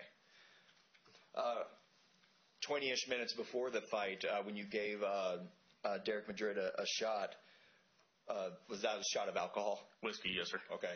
Um, did you see if Der- uh, Derik Madrid had a gun on him at that point? No, sir. Okay. Did you see anybody with a gun at that point? No, sir. Okay. Um, I apologize for jumping around. I want to make sure I'm hitting all the right points. Um, were there basically only two main volleys of shots, that initial three or so, and then later on, and I think I cut you off, but you were talking about what you heard later on might have been Trevor and whoever else involved? It sounded like there was another volley, you could say, when as they were driving off. Explain that.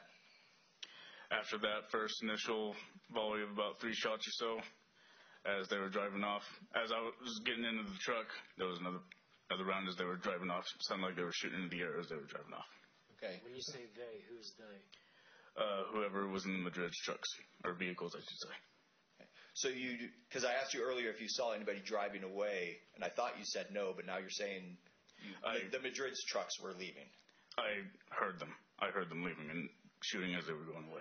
Okay. How do you know uh, you? Let's start. I'm going to talk about the trucks and then the shots.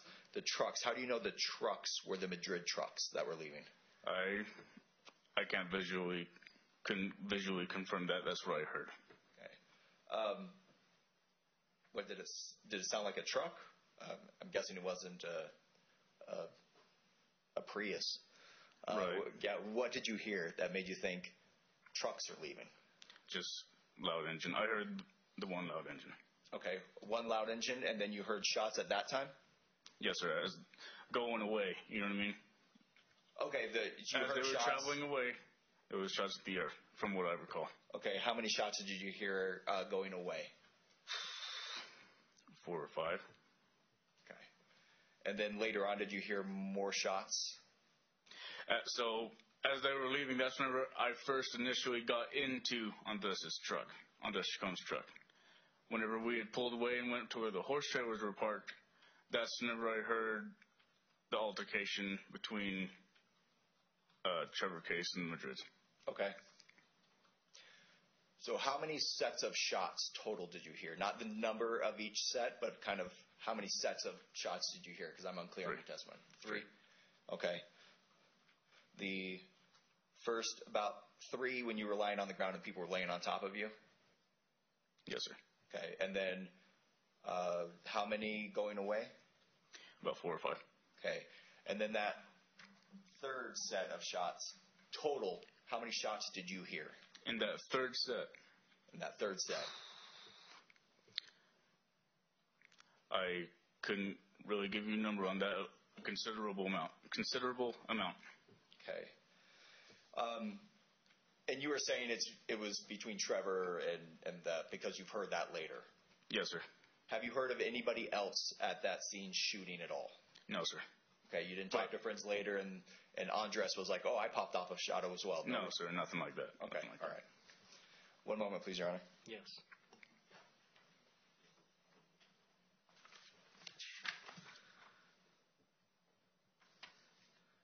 Uh, that first volley of three shots that you heard, uh, how did that make you feel? I was like, how do I explain this? I guess it was kind of like, oh, it just got real. You know what I mean? Because I heard the as they were traveling by. I was like, oh crap. You know what I mean? This this got this got bad. You know what I mean? Were you afraid? In a way, yeah. In a way. In what way? In the sense of my own life and the lives of those around me. Did you have a gun on you at all that night? No, sir, I did not. Okay. Uh, I don't have any other questions for you at this time. Thank you. The other attorney might have some questions, so you have to stay there. Your Honor, stay past as a witness. Cross examination. Uh, Mr. Davis, um, I was going to ask you about alcohol because, as I understand it, it actually wasn't served at the dance, was it? You couldn't buy drinks. That's correct. So people had to, it was BYO, bring your own. Yes, sir. And, uh, and that's pretty common at, in the Lindrith, uh, at fairgrounds there. That's usually how it works, right? Yes, sir. Um, so you've told us how long approximately you were there, and uh, was, to your knowledge, uh, was Trevor Case, was he drinking? Yes, sir.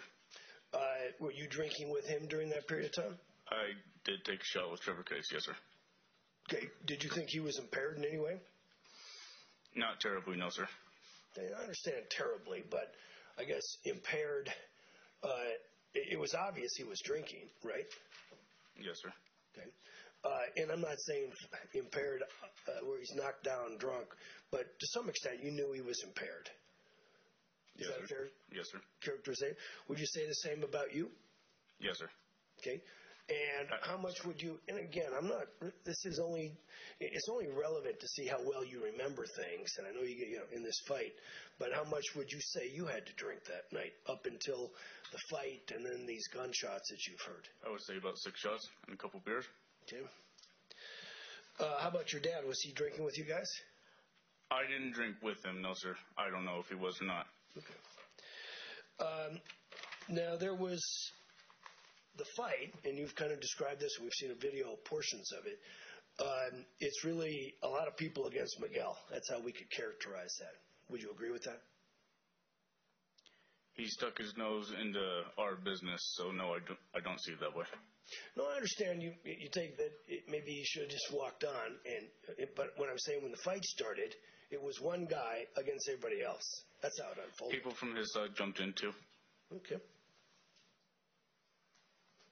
But one thing about the fight, there were no weapons, knives or guns during this fight, this altercation, correct? During the fist fight, no, sir. Okay. Did you, uh, since you knew Derik and actually had a drink with him that night, did you at some point during the fight see that he pulled out a handgun and people said gun, gun? I do not recall that. Did you hear people? Do you remember hearing people say gun, gun? I do not recall that. Now, um, and I want to get in a little bit these three different volleys. Uh, you actually heard you said um, after the fight,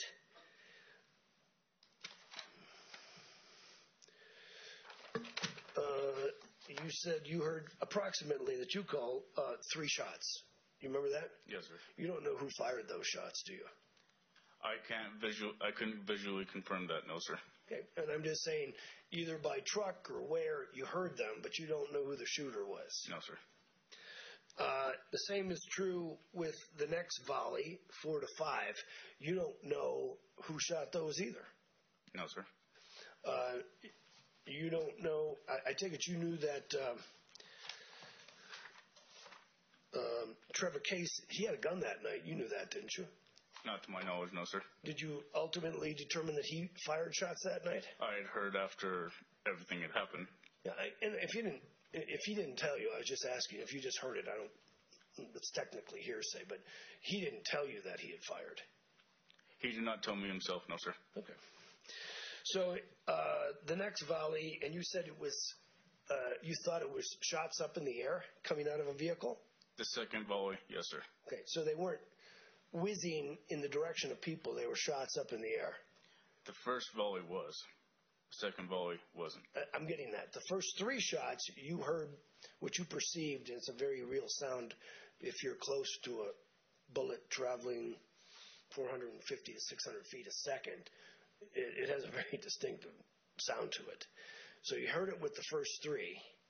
The next four, you thought that was in the air. Yes, sir. And again, but you don't know who the shooter was. No, sir. Not. And then, and then we get to a whole bunch of bullets being fired. Yes, but sir. you don't know who shot those either. I do not. and you don't know the vehicles from which they're coming or where. No, sir. Would you say that those, um, in terms of distance, were those shots? And you talked about the booth, the ticket booth, which is almost at the end of the at the beginning of the dirt road. It's close to the highway, isn't it? So you turn off of 595, go down the dirt road. There's you can either go keep going straight or go left to the rodeo grounds. Right. Okay, you go left to the rodeo grounds and 50 yards from that turn, that's where the tick booth is at. The tick, the ticket booth.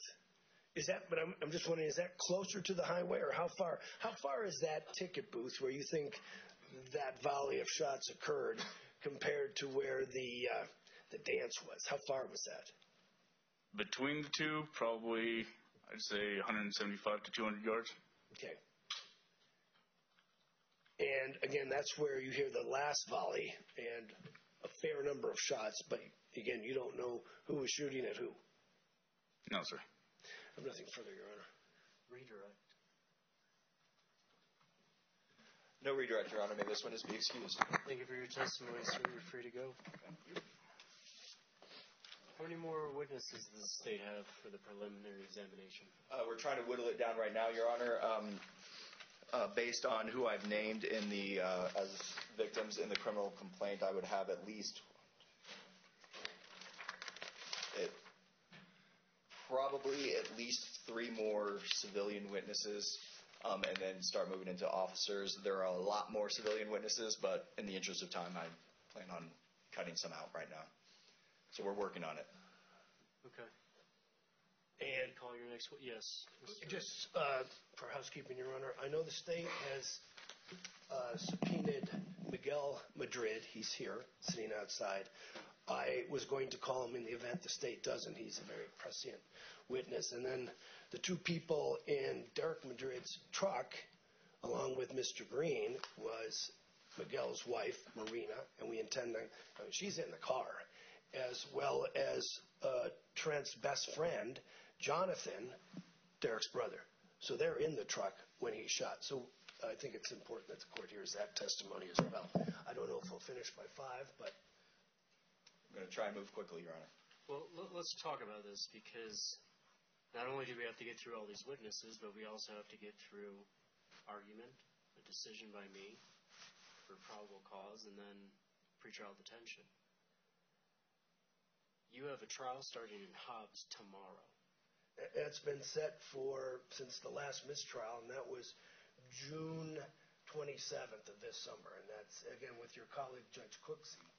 Uh, My co-counsel, How many days is this scheduled for trial? at at two, it will be done in two. So So Thursday and Friday. That's when she said it. I know you have a, well, I've been reading about it, but you have a matter set for next week. I do. Um, For two weeks, in fact. Um, I want as much information as I can have in making my ruling on this. Um, Your Honor, what I would ask, and if we could even proffer, I have no problem continuing uh, the preliminary hearing, and I think we'll not finish, because I anticipate those witnesses that I, between Miguel, Marina, and Jonathan, they're going to take a lot of time. And, but I would like to have, at least if we're proffering, and the court has a sense of, of, of the evidence, we could just turn, you won't have a complete record, but I think you have a sufficient record now on the state's motion for detention. Particularly, and maybe if we want to call the case agent, I mean, as I stated in my opening, this was only what was, um, what, what I was informed before the hearing by Mr. Walquist, is that the state's conceding Derik didn't shoot Mr. Green in the back of his truck. And this is uh, a, felony murder with regard to shooting from a motor vehicle, and somehow it's foreseeable that bullets would be returned, shooting his truck and people went inside of it. In, in this case, we already have, I think we know who it is. I mean, if it's only one shooter, it has to be Trevor Case. And there'll be forensics because we do have a cartridge, the 40 caliber. He said it was a 40 caliber Glock. But having said that, I would, if we could just direct and at least get a ruling, because if we have to wait two weeks, obviously I'm, I don't think there's sufficient, and I've seen the recommendation for ROR. Mr. Derik Madrid is, not a misdemeanor, he's not a felon. You've heard the context of this. He's not, he didn't shoot. His gun, uh, we're not denying it was fired, uh, and we can get to that, but he didn't shoot the person in the back seat. Somebody else was shooting at the truck.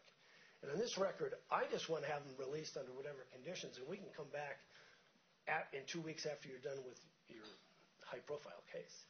But I would like if we could at least address detention, because I don't think he should sit in jail for two weeks this way we, until we can find time to come back, if, it, if that would be acceptable with the court. I think the best course of action is to address pretrial detention at this point in time.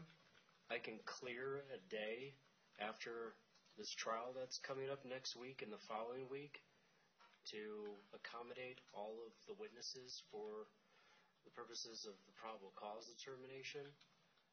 There is a certain deadline by which it needs to be conducted. I think us beginning it today satisfies that. I think out of an abundance of caution, maybe I'd ask for a waiver.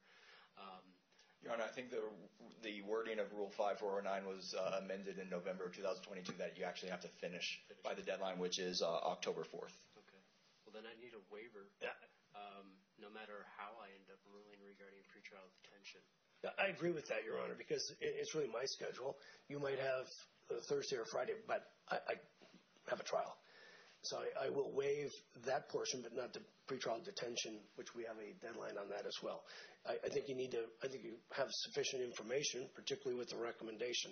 But I will put on the record, we will waive the pretrial for a reasonable period of time until you can reset it, given your calendar. I appreciate that. Mr. Walquist, are you prepared to proceed to, well, firstly, are you, do you find that acceptable? And then, secondly, are you able to proceed to pretrial detention at this juncture? If I'm understanding what we're discussing, we are pausing the preliminary hearing. The defense is waiving time to complete the uh, preliminary hearing, and then we will proceed to the pretrial detention. Uh, I would ask my case agent to testify. I'll try to keep it as brief as I can, and then we will argue that. And then, regardless of what your honor rules, there's a waiver of time for preliminary hearing, and we will come back to do that. Am I following everything? That's correct. Um, the I, next setting will be in TA. I'm only down here today because I had obligations in Albuquerque, and then I came up here for the afternoon. Uh, That's fine with the state, Your Honor. When we get to the point of resetting it, I would ask that you give me a brief moment so I can bring everybody in, so we can clear, let them all know and make sure they're not going to be out of town and things like that. Um, But uh, I think that plan works for the state. All right. Yeah, And I think they need to be admonished that the subpoena is still valid, although it's now going to be, you know, you don't have to issue, I'm not reissue subpoenas. Uh, My witnesses will be there up in TA whenever you set it, Your Honor. Thank you. Well, then we'll take evidence from the state regarding pretrial detention at this time. Uh, Thank you, Your Honor. I'm uh, asking uh, you to place uh, Matthew Jacobs under oath and calling him as a witness.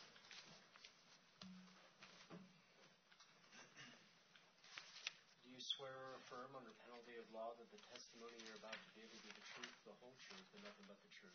I do, Your Honor. Thank you. You may be seated. If you begin your testimony by stating your first and last name and spelling both for the record. Matthew Jacobs, M A T T H E W, Jacobs J A C O V S. Thank you, sir. Mr. Walquist, you may proceed. Thank you. And you're a certified full-time law enforcement officer with the uh, Santa Fe Sheriff's Department, or excuse me, the Rio Arriba County Sheriff's Department. Yes, sir. Okay. Um, Are you uh, what we would call the case agent in this matter? I am. Okay. Uh, I'm going a little fast because we're now in the pretrial detention stage. It's a little different than the preliminary hearing, different rules. Um, So you were here and you heard the testimony of the first few civilian witnesses we brought in, correct? Correct. Um, So we've heard some testimony about what happened kind of that night. Um, What happened the next day on June 2nd, 2024? Uh, the next day, uh, approximately 3 3:30 p.m., um, I received a call from Lieutenant Casillas to respond to approximately the one mile marker on 595 uh, near Lindrith uh, for the report of uh, possible homicide, uh, body found on the side of the road. And who was that body on the side of the road? Later identified as Trent Green. Uh, When you say on the side of the road, exactly where is it? Where was Trent's body in relation to the the dance hall that we've been hearing testimony about? Uh, I would guess approximately three, four miles um, south of the dance hall. Uh, Was it on a road towards the uh, uh, dance hall, or was it somewhere else? Uh, it was on the, the main road to Lindrith, uh, and then the dance hall is off to the east side of it. I think we heard testimony from one witness who talked about you're going up a road and then you got to take a left to the uh, dance hall, to the fairgrounds or the rodeo. Where was Trent in that? And first of all, is that accurate?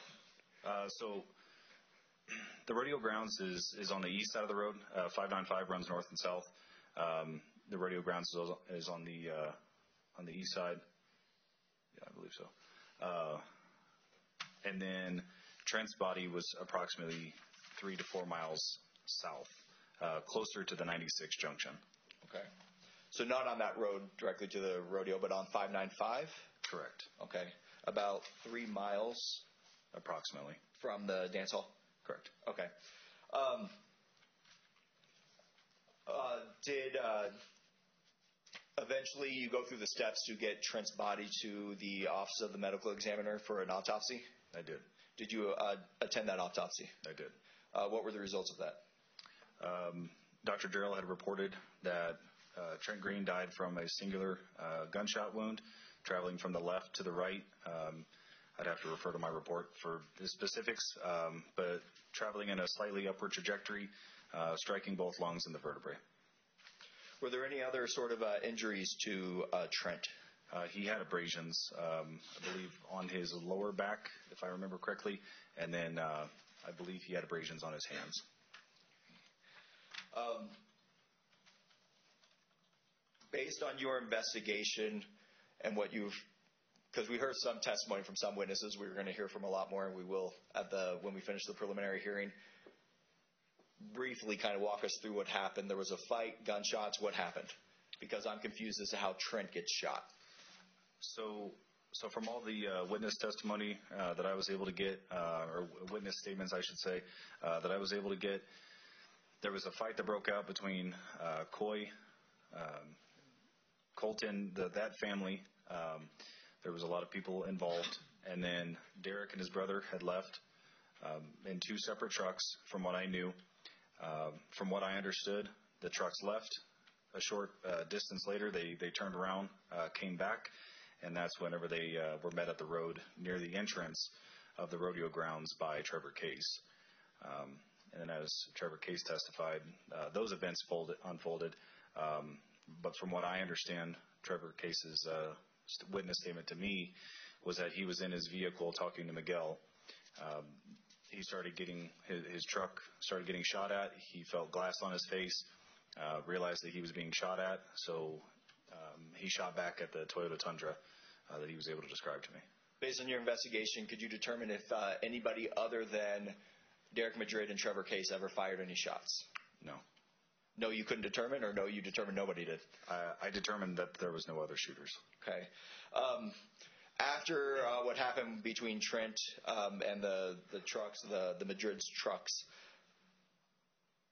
they the Madrids left at that point, correct? Uh, from what I understand, is that uh, both trucks went back in the rodeo grounds uh, for the duration of time. I'm, I'm not clear on that, um, but there was both trucks did end up going back into the rodeo grounds, and that was the uh, uh, Mr. Case went inside the rodeo, uh, the dance hall, uh, to warn people that they were coming back. Okay. Um,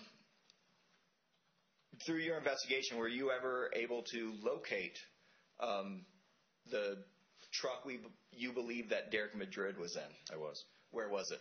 Uh, San Luis, uh, if my directions are right, south of Cuba, on the way to Albuquerque. Is that where uh, Derik Madrid lives? As far as I know, correct. Okay. Uh, and was it a uh, Sandoval County Sheriff's deputy that found that truck? Yes, Um, did you eventually execute a search warrant on that truck? I did. What did you find inside Derik uh, Madrid's truck? I found multiple bullet casings. Um, there was two um, bullet holes on the outside of the truck. Um, one that I was actually uh, directed to by Derik's mother, uh, Monica Estrada. Um, it was near the lower portion of the front driver's side, so where the driver sits. Uh, there was a bullet hole there, um, and then also a bullet hole in the rear driver's side, uh, approximately in the in the center of the door. Um, we're going to get way more detailed testimony later on at the preliminary hearing, both from you and other witnesses. But as you were collecting the truck and doing that, did you get any statements from um, Derik Madrid uh, uh, or any of the Madrids, really, about what happened? Uh, not the Madrids. Um, Madrid's mother uh, was there, Monica Estrada. Monica Estrada, who is uh, uh, Derik and Miguel's mother. Correct. Okay. Uh, what did uh, Monica Estrada say to you? Uh, so initially, uh, while we were waiting on the on the warrant, um, she had made what I would call a spontaneous utterance um, that Miguel was beat up, um, that they were trying to kill her sons, and that they drove away. Um, other statements included such as they were they tried to resuscitate um, Trent on the side of the road, and then that they called Sandoval County, uh, which was then transferred to Rio Arriba. Um, and then she said that they brought, they brought the truck home because they were scared. Um, I asked her, um, you know, who was driving or who was in the vehicle. She had told me Derik was driving, and who she referred to as JB, uh, the young, the youngest uh, son, were in the vehicle. Uh, and she made the statement multiple times, if I remember correctly, that Trent died in the back of that truck, and I needed to get it. She was very, uh, she really wanted me to get the truck. She wanted me to cut the lock and get inside. And that would be the lock to the property where Correct. the truck was. Okay. As you were going through that, you said that uh, Monica Estrada said that um, they, probably presumably talking about uh, Derik and Miguel, had called 911 and it went from to different counties. Correct. Did you do anything to verify or uh, confirm that? I did. Well, what'd you learn? So uh, initially, I contacted Sandoval County, um, and I was able to get a recording um, and what we call CAD notes, uh, computer-aided dispatch. I was able to get those notes, um, and on the recording, um, I can hear what I believe to be Miguel, uh, and he identifies himself as Miguel Madrid. Um, he he stated to Sandoval County that they were involved in an incident tonight in Lindrith, and they heard the cops were looking for them. Um, Sandoval, if I remember correctly, said something along the lines of, "Well, that's Rio Arriba County. If you want to talk to Rio Arriba County, uh, we'll transfer you," um, and they did. Um, and then after that, I completed an IPRA request uh, for the records for Rio Arriba County. Um, very similar call. Um, Miguel Madrid identified himself by name, date of birth, and phone number. Um, and then he he said, When were these calls made? um, I would have to again check my report to be completely accurate, uh, but I believe it was somewhere around 4:30 to 5 o'clock in the morning. Okay. Ju- not long after the the incident at the dance hall. Uh, the incident at the dance hall happened approximately four or five hours earlier. Okay, so it was four or five hours later that uh, Miguel was making these calls. Correct. Uh, when you got the IPA request from Rio County, um, What did you hear on those calls? Uh, basically, the same thing it said in Sandoval uh, County 911 is that he was involved in an incident tonight in Lindrith, um, and he heard that the cops were looking for him. Um, Any mention of Trent or anybody being hurt? no.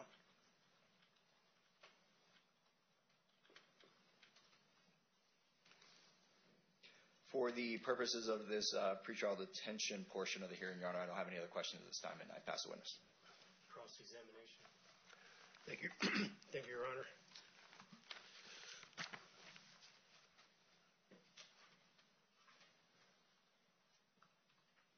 Uh, Detective, I take it uh, with granted detention, you did an NCIC check on Derik Madrid, did you not? I would, assume so. I'm sure you, yes. And by virtue of the National Crime Information Center, you were able to determine that Derik Madrid has no prior felony convictions. You know that. Correct. He has no misdemeanor convictions. Correct. And I take it you uh, determined that he is full time employed. That I wasn't able to determine, uh, but I heard. Well, I can hearsay, but where did where does he work that you heard? I believe I heard that he worked on a ranch or something like that. Okay. To be honest with you, I don't know. Oh, Okay, but uh, you had reason to believe he's gainfully employed. Let's put it that way. Yeah, I would assume. Yep. Um, next, um, we'll talk about evidence in a bit, but the criminal complaint in this case, where you're the affiant, was filed in magistrate court in Rio Arriba on September 4th of this year. You recall that? Yes. Obviously, a warrant was issued by virtue of this complaint being filed and signed off by a judge, correct? Correct. And but you didn't execute the warrant at, at first, did you? Execute the arrest warrant? Well, yeah, you didn't go. You knew where Derik lived, and I'm saying you didn't go uh, for a period of almost 12 days. There was no attempt to arrest him in any way. Correct. Was there any reason for that? I was told by my superiors um, because it was in Sandoval County. Uh, I tried to coordinate, uh, however, um, just unfortunately a busy time trying to coordinate with Sandoval County or New Mexico State Police. Uh, just didn't happen at that time. However, those authorities were notified.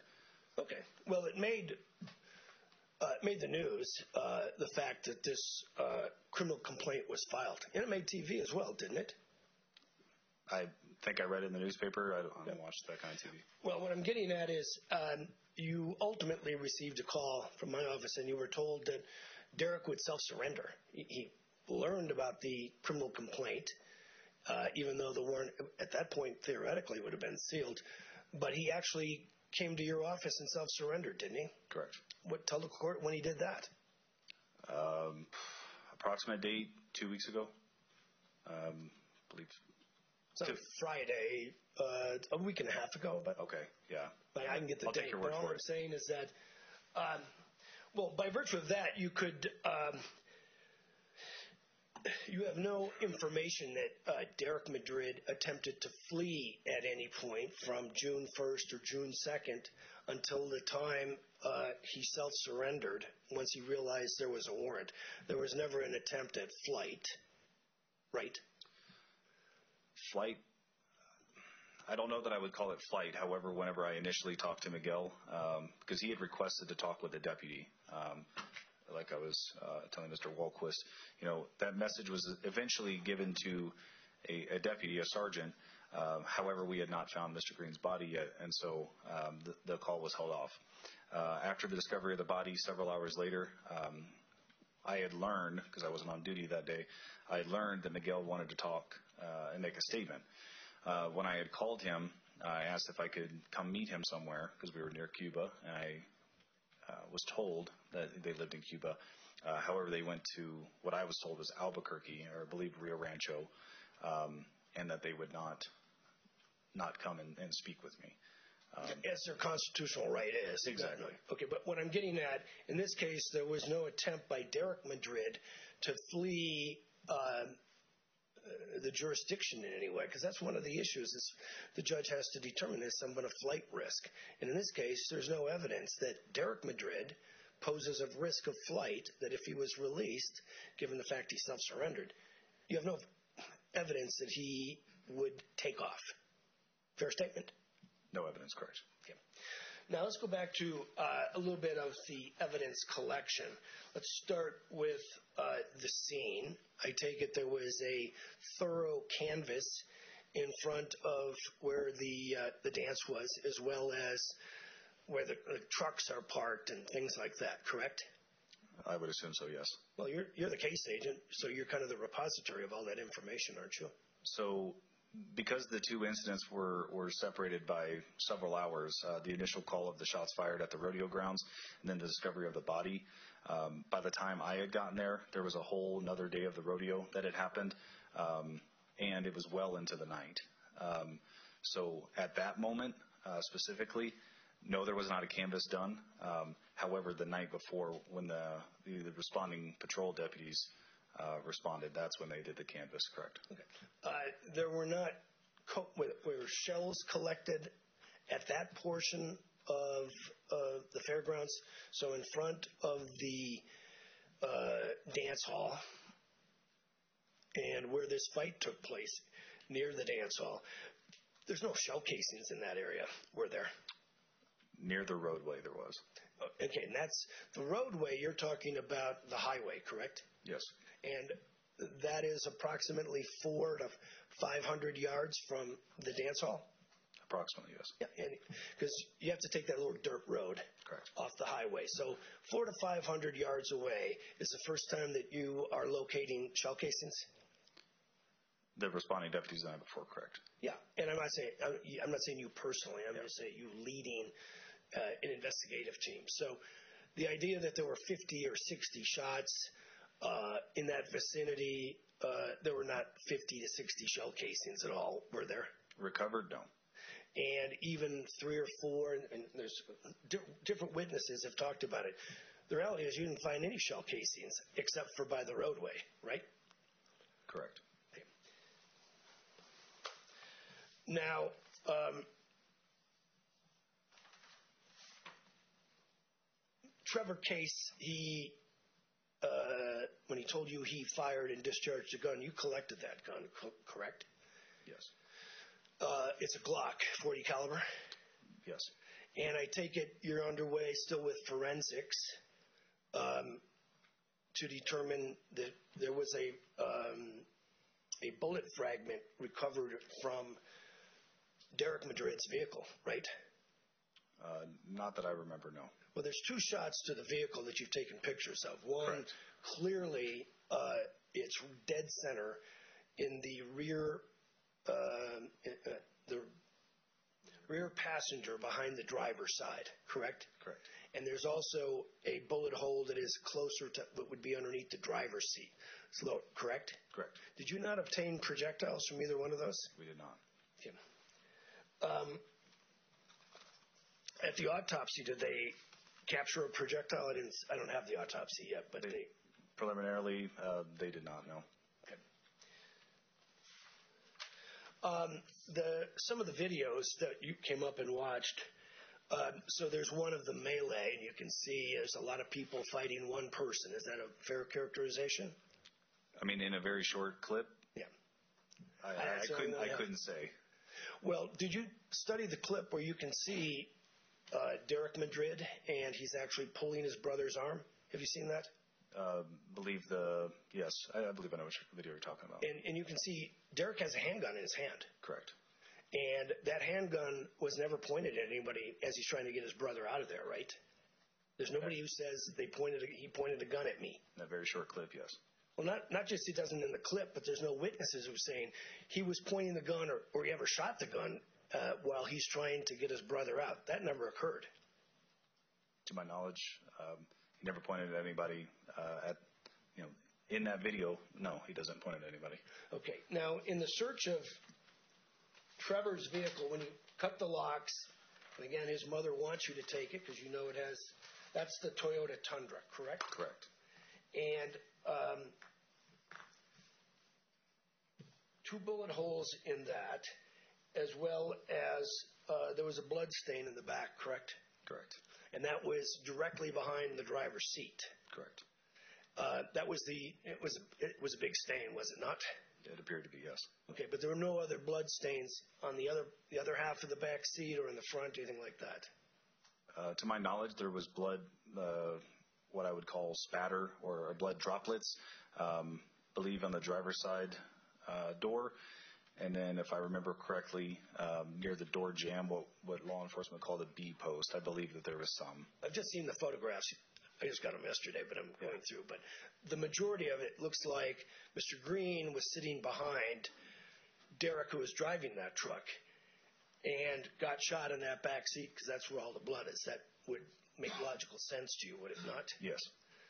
And actually, that would line up with the bullet hole that you've taken a picture of that is uh, dead center on that side of the car uh, where Mr. Green would have been sitting, right? Correct.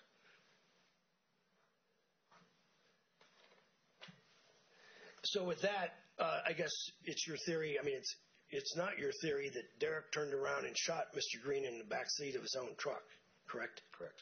So somebody else shot.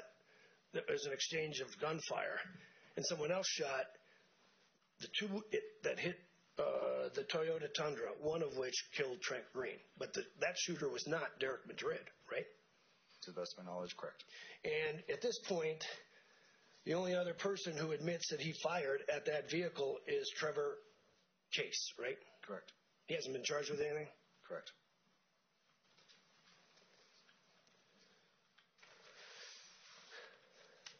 I have no other questions, Your Honor. Uh, no redirect, Your Honor. May this uh, witness step down and come back to counsel table? Thank you for your testimony, sir. Thank you, Your Honor. Uh, State's next witness, if any.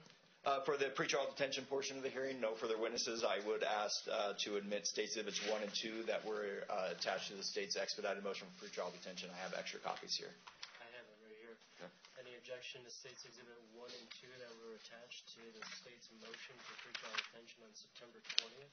No, Your Honor. One is a public record, the affidavit, uh, and then we have the pretrial services report. Um, Well, yeah, in the back. Yeah, that's, that's two. I have no objection to two, Your Honor.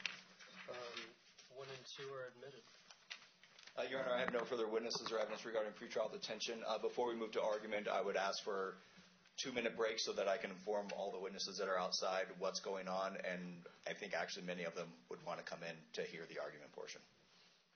Any evidence? I- I have no evidence other than what's been elicited already, Your Honor. I do Where does your client live? Uh, uh, just outside of Cuba, Your Honor. Who does he live with? Yeah, with his parents and I, mom, dad, younger brother, Jonathan. Are you the father? Yes, sir. Is your wife here?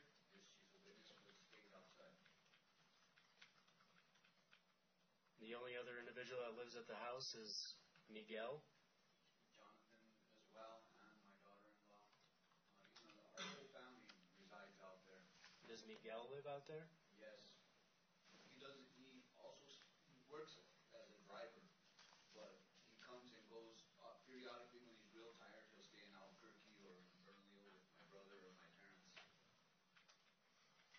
Do you work during the day? Yes. So you're away from the residence? No, we all work together. Oh, you work together. What do you do for work? We're ranchers. We're, we own a big cattle ranch in, uh, Son and San Luis, Chiles, Stanley. We run about 2,000 head of Angus cattle there. So your son, the one sitting right here, Derik, works with you all day? all the time.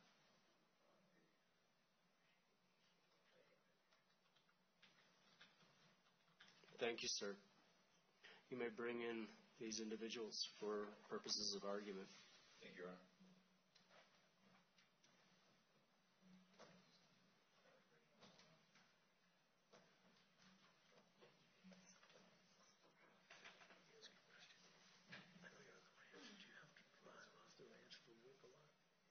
Hmm. It's all on the ranch, all dirt road, right there. You could stay at the, Yeah, absolutely. We have a we could have, yeah, yeah.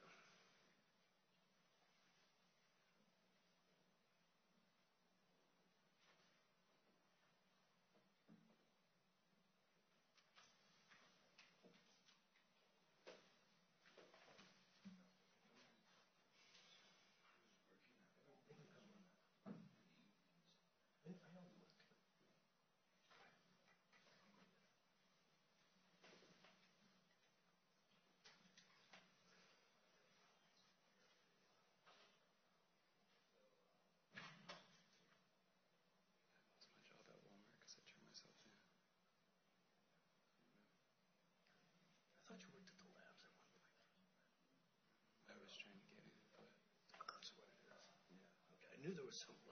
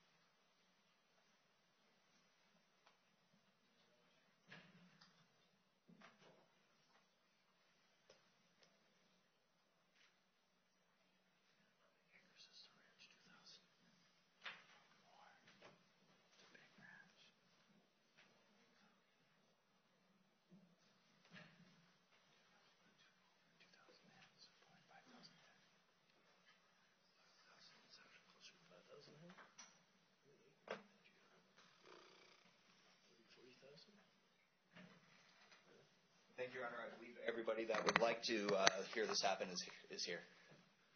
All right. Argument from the state. Uh, yes, Your Honor, going through the uh, 5409 factors in the state's motion for pretrial detention, we'll start with the uh, facts and circumstances of this offense. We heard just the initial uh, uh, testimony.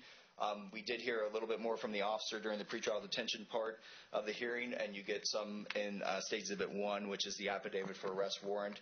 And so you do get, I think, some of the minutia we're going to argue about later when we finish up the testimony at the preliminary hearing and we hear from the other witnesses. But what's clear is what happened is the uh, defendant brought a, a gun to a fist fight, and then while it was being broken up, and then while he was leaving, he fired off several shots. We did hear um, some differing testimony about exactly when or how many or that sort of thing, um, but it is clear that shots were fired. Um, in State Exhibit 1, uh, we do have uh, information about um, witnesses saying that it was Derik that testified. Again, I think we'll get more details about that when we finish the preliminary hearing with the other dozen or so witnesses uh, that would testify. The defendant's firing off shots in a crowd. We heard testimony about how many people were there, how many young people were there. Uh, there were, um, I think the youngest we heard testimony about was 12 um, uh, that was there and he's firing off shots into this crowd. And then even while he's leaving, the defendant is firing shots while this happens, and then he leaves. It's done. It's over with. But the defendant comes back, and we heard the testimony about that. And even the witness who testified tried to say, "It's done. You can just leave. It's done." And it wasn't done for the defendant. He fired off more shots. Um, the nature and circumstances of this offense, it's clearly dangerous. The defendant put everybody uh, at that event in danger. Um, and Trent Green, who's I think we're going to end up hearing testimony about, is a friend of of uh, the defendant in the defendant's car, but it ends up dead because of the defendant's actions. Uh, so this was a very serious offense. Um, it is a very serious incident and very, very dangerous. Um, I think we might, yeah, it's just extremely dangerous as to what happened. Going to the next factor, which is the weight of the evidence against the, the defendant. Um, usually we're past the preliminary hearing stage in that, so we can make that argument. Um, so, course, my position is that the state's evidence is strong. We still have several more witnesses even the um, somewhat inconsistent testimony we were hearing was still fairly consistent about the general uh, nature of what was happening and that it was, um, and we'll get more evidence later, I believe that it was the defendant shooting and that was the defendant uh, doing the initial shooting when nobody else was. Um, and so, so, you have a witness that will say that it was the defendant who was shooting after the physical altercation? In State's Exhibit 1, uh, which is the affidavit for arrest warrant, it does uh, mention a witness who said that. And then with respect to the encounter with Trevor Case at the entry to the fairgrounds, Mr. Case identified that not only were shots being fired from the front driver's seat of the the black Tundra, which is identified as the defendant's, but also that shots were being fired from the front passenger seat. Is there any way for the state to distinguish whose shots caused the three pings that Trevor Case identified prior to his windshield then shattering as a result of a shot? Are you able to identify that it was the defendant that fired those shots that caused the three pings and the windshield to shatter? Uh, Your Honor, at this point, no, we are not. Uh, once towards the at the end of the preliminary hearing part of the hearing, when we start arguing the law and the uniform jury instructions, I would read into the record accessory liability um, that it doesn't matter who the principal is or the accessory. New Mexico law does not differentiate between principal and accessory liability. So whether it was the passenger uh, shooter uh, hitting Trevor Case's car or the defendant in the driver's seat hitting uh, Trevor Case's car. If it was the passenger, if Trevor Case, in all the actions I just described, and then also in shooting, even if it was up in the air at that point, helped encourage or cause the passenger to shoot at Trevor Case's vehicle, um, he could be liable for that, Your Honor. And so at this point, for preliminary hearing or pretrial detention, I would argue to the court it doesn't actually matter they were both shooting. Do you know who that passenger was? Uh, we believe uh, we know who it is, and it might have been a sibling. Uh, give me one moment. Um, I believe we're getting into speculation um, for a potential witness who's in the courtroom right now and so he's probably about to hear me accuse him of something that we don't actually know. So we are speculating. We think it might have been the Jonathan uh, mentioned, the younger. Uh, uh, I believe it was a friend and sibling. Was, he, Jonathan was described as both, and I apologize. He's here and he can explain his uh, uh, connection to everybody. I wouldn't ask him to say anything about what happened in the truck at this point, but um, we believe it was Jonathan. Thank you. Does that answer the court's question? It does. Okay. Um, so again, I would argue that the uh, state's evidence is strong, um, even under accessory liability if it was the passenger actually hitting. But again, it's actually the whole incident: the shooting, leaving, shooting while leaving, turning around and coming back. Uh, all of that, um, I think the weight of the evidence is strong. Uh, the nature and seriousness of the danger to the victim or the community.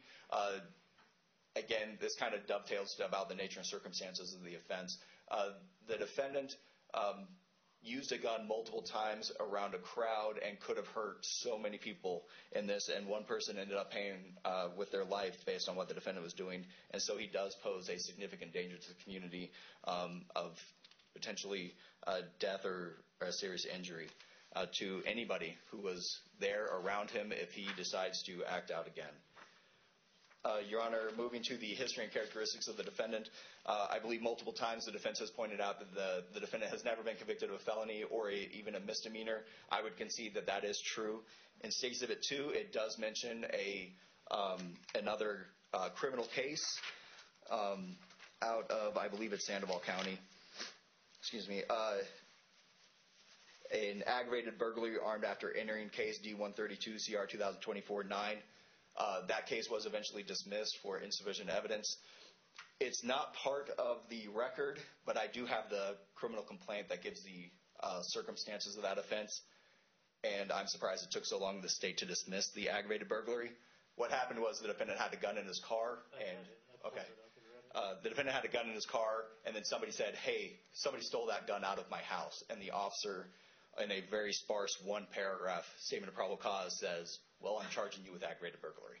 So that is the defendant's history is he once had a gun that somebody said had been stolen from the, that person.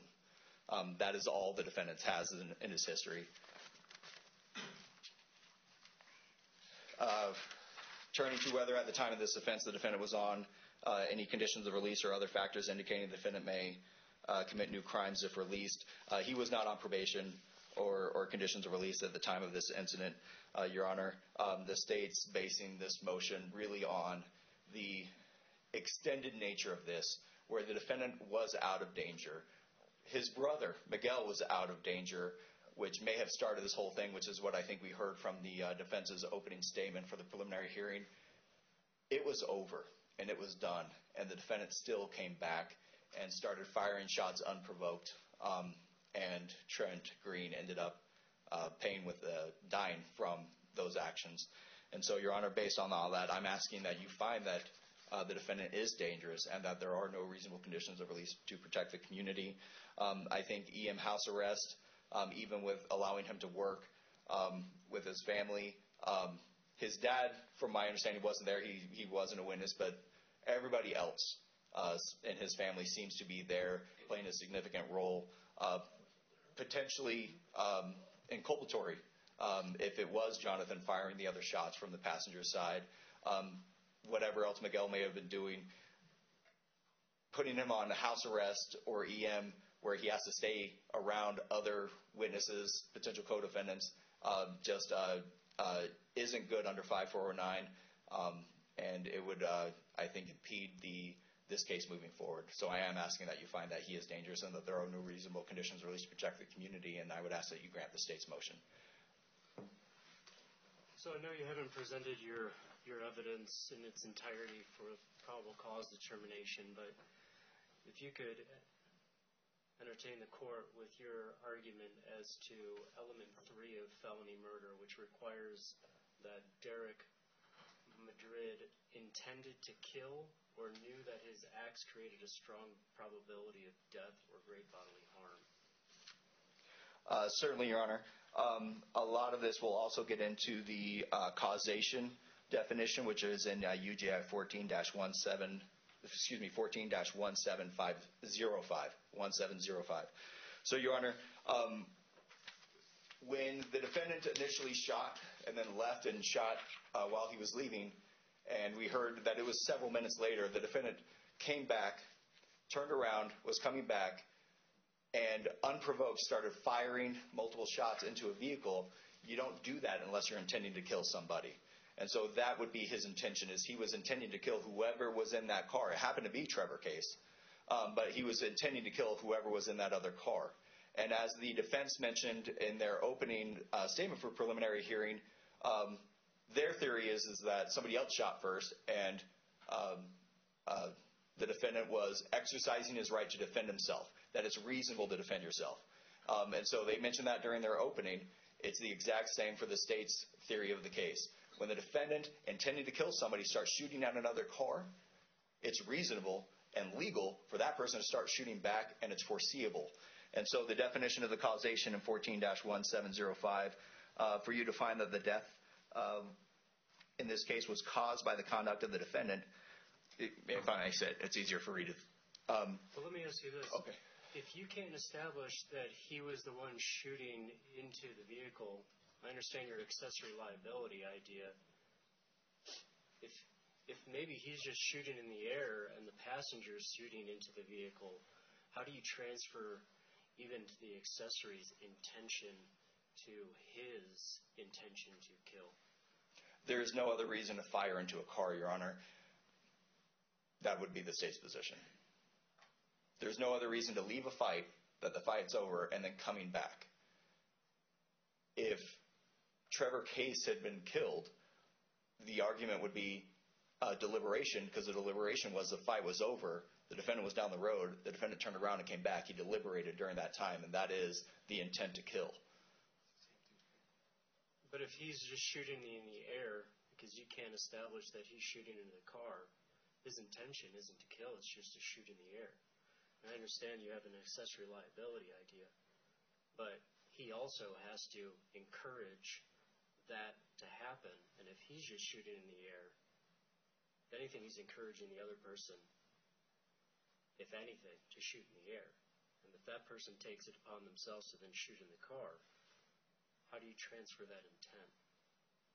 Understood, Your Honor. Um, the investigation is still ongoing. I think the defense has also pointed that out, that we're still waiting on uh, some ballistics, some uh, forensic evidence. Um, I would argue that eventually we may have that evidence and show that it was the defendant uh, that did it. And right now, all I can argue is the evidence in front of you that it was the defendant firing at uh, Trevor Case. And then let me ask you this. Um, assuming that it is Derik Madrid who's shooting into Trevor Case's vehicle. The intention to kill would be to Trevor Case, not the gentleman in the seat behind him. Is there a transfer intent that would be argued? And the causation, Your Honor. Um, dovetailing off of what the defense has already pointed out, which is it's reasonable and legal for somebody to defend themselves. And that was when I would get into the causation definition, that it is uh, uh, an actual result of the conduct. If it weren't for the defendant shooting at Trevor Case, Trevor Case wouldn't have shot back. Um, and that the natural sequence of, of, events by the defendant's act uh, to the resulting death uh, or destruction was not interrupted by any other intervening cause. Um, so it's, I think the defense was arguing this, uh, or not arguing because it was opening statement, but pointing out that it would be reasonable and legal for somebody to defend themselves by shooting back. So when the defendant fires into Trevor Case's uh, vehicle, it is foreseeable that Trevor Case would fire back and that somebody might die. And so, yes, transferred intent and the causation, Your Honor. And I believe what we're getting at right now is into the uh, second element, which is the strength of the state's case, which is just one of the factors for 5409. Thank you for my questions. Anything further? Nothing further from the state, Your Honor. Argument from the defense. Uh, of course, questions I'm not, uh, I was going to raise, but you've already raised them. Um, Your Honor, there's one key fact here is that from that video, you can see Derik trying to get his brother out, but there's no gun play. You've already heard uh, Miguel didn't start the fight. It all starts with the group there, um, and Colton, he admitted he, you know, he threw the first punch, and that got it all on. I mean, the Madrid boys, they didn't start anything at that thing. It all started with a group, and then you can see the melee. It's really Miguel uh, trying to hold off 10 to 12 people. What's significant is there's no gunplay there. Uh, just like Trevor Case had a right to possess a gun, so did Derik. And it wasn't used. It was never used at the fairgrounds. And it's going to be, when we get all the forensics, it is five to 600 yards away that that's where the casings are found. The individuals back at the fairgrounds, they're five to 600 yards away. They were never in danger. And the question will be, who fired first? I guess they believe wholeheartedly Trevor Case by himself, but he then has to drive. And it's a question of who chased who.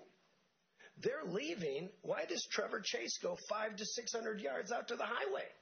Because that's where this gunplay, uh, and who's shooting first, and who's pissed off about the whole thing. And it will be a self defense case in part. But this the evidence is pathetically weak at this point. Um, when you look at the 5401C C1 factor and the weight factor, um, th- the reality is Derik never, no one else was hurt. The only, a group started a fight, got upset. Derik tries to leave, and they're 600 yards away. And that's where, from even the case agent says, that's where the, the shell casings are. Nobody's hurt back there. Your Honor, uh, it is an unusual case where, in this felony murder, I mean, we, will be litigating this not just at the end of the probable cause, but there'll be a full and motion after we've done all of the, it's purely legal. And the question is, uh, I've never heard of, the predicate for the felony would be shooting out of a car, but someone else shot into the car and clearly killed the person in the back seat. He's not even the shooter. I've never seen something so, uh, and we, all these felony murder cases that are, is this attenuated, uh, and, or I should say, uh, you have to have an intent to kill the person who's killed.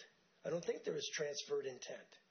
But having said that, with the recommendation of ROR, uh, factoring in his employment, I would ask that you um, set restrictive conditions, maybe not per se ROR.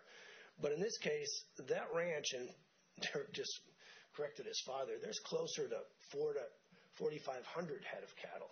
There's over 20,000 acres. It's a very large family ranch. It's been in the family for a long period of time. You've heard it's got various parcels to it, but can be reached by dirt roads.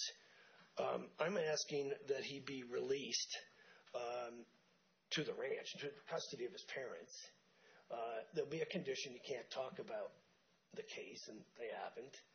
Uh, he has been completely compliant. I think it says a lot when someone self surrenders. Uh, when he's, I mean, they, they can't jurisdictionally somehow find the time in 12 days, but he turns himself in. Um, the ranch is large, and he could, uh, as I say, be confined there, uh, with the exception of uh, I'm sure his mother would bring him with him, or if he drove himself to come to my office in Albuquerque. I don't. I, obviously have to meet with him frequently, and I don't really plan on driving out to the ranch and trying to. Find, I mean, I would I would ask that he just be confined to the ranch so that he can work. And the only exception being he can drive to Albuquerque when we have uh, an attorney conference set up. And I think the other factors are all kind of answered, and we can go through them all, but uh, he's not a flight risk. Um, I think the case is, I, I think the evidence is actually incredibly weak. He hasn't any history of violence, characteristics that would include um, any felony conduct before. I mean, he's a hardworking young man, brought into a situation that he, he didn't go to that fight with an intent to kill somebody. He's trying to get his brother out of a melee. And the question is, why was Mr. Case chasing him all the way out as they're trying to leave? You're hear, as they're leaving, he's five to six hundred yards down the uh, down the road with his gun firing away. But that'll be, you know, we'll see how this comes out later on at the end of the prelim and, and maybe even at a trial. But uh, this is not a typical murder case, and I ask that you release him as the recommendation provides. Do you have any questions? of me? I don't. Thank you, Your Honor. Any reply from the state? No, Your Honor.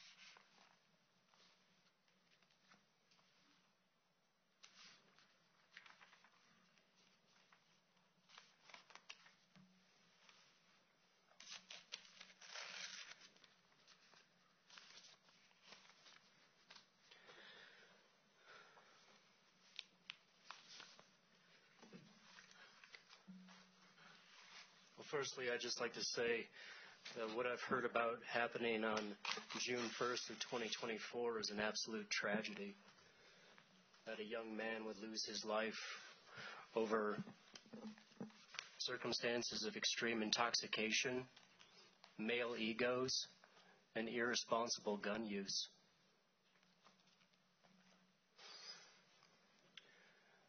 But the court must weigh the factors contained in Rule 5-409 to determine whether or not Derik Madrid should be held in custody during the pendency of this case before this court.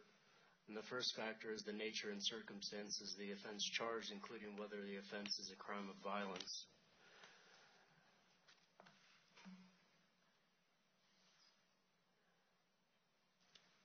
In the court's mind, whether or not this is a crime of violence really hinges upon the intentionality of the death in this circumstance. And it seems to the court that neither Mr. Madrid nor Mr. Case had that intention for Mr. Green to sustain the injury that he did, which caused his death. The actions that I've heard regarding Mr. Madrid are extremely juvenile, extremely irresponsible, and extremely reckless.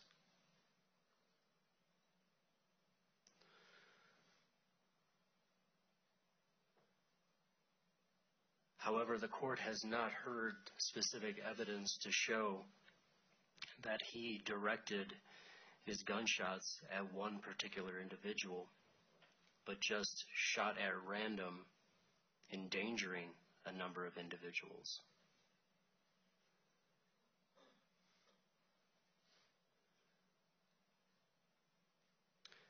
And therefore, the court has a difficult time identifying his behavior as being violent to any one particular individual. At most, it's a general violence in the sense that his actions involve discharging a firearm, which is lethal force wielded irresponsibly, recklessly.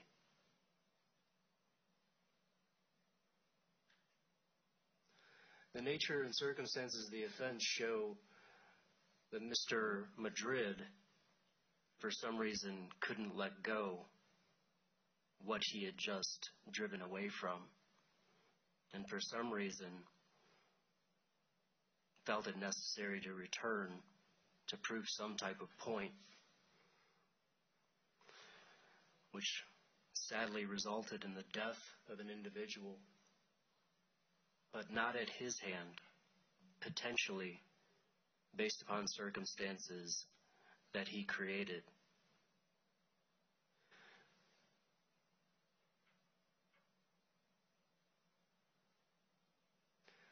The weight of the evidence being the second factor. The state's theory of the case requires a number of legal gymnastics to reach an idea of felony murder and transferred intent and causation. The evidence to show that Mr. Madrid was the individual who shot at the vehicle occupied by Trevor Case is not strong.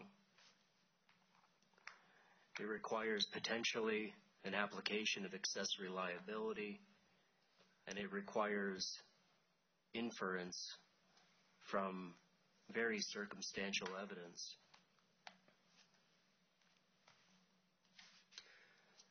And therefore, the court cannot find that the weight of the evidence weighs in the state's favor. With respect to the history and characteristics of the defendant, the defendant doesn't have any prior criminal history except for one charge of aggravated burglary, which, having read the criminal complaint and probable cause statement filed on June 14th of 2023 in case M46 FR 2023-36, is an extremely weak case that most likely should have never been charged against Mr. Madrid in the first place. And that being the only matter in his criminal history, the court finds that there is no criminal history associated with Mr. Madrid. With respect to characteristics, as I've already stated, for some reason Mr. Madrid had no ability to let go of what happened at the fairgrounds and then to just go back to his residence and forget what happened. For some reason, there was some type of bruised ego, it seems, that needed to be redeemed by a return, which is extremely drastic in its manner, not only by Derik Madrid, but I heard testimony from Mr. Davis regarding a circle through the fairgrounds performed by his brother discharging a firearm.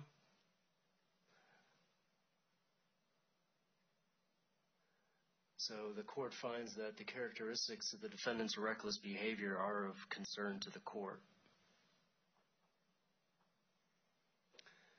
The nature and seriousness of the danger to any person or the community that would be posed by the defendant's release is the fourth factor to be considered by this court.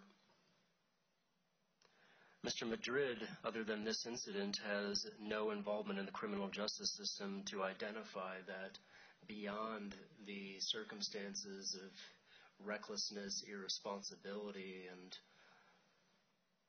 an inability to control those types of behaviors doesn't present a danger to any particular person except for the community at large if such behavior were to occur again.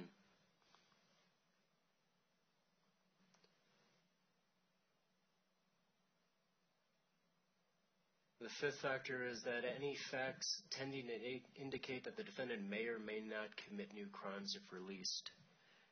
Now, in light of his lack of criminal history, this seems to be an aberration, but a great aberration at that. Whether or not he would commit new crimes if released depends on the circumstances of his release. If they are strict enough to remove the factors that contributed to his behavior that evening, the court believes that the threat of new crimes being committed upon his release can be suppressed. A public safety assessment of Mr. Madrid indicates that he should be released on the lowest of circumstances, released on his own recognizance.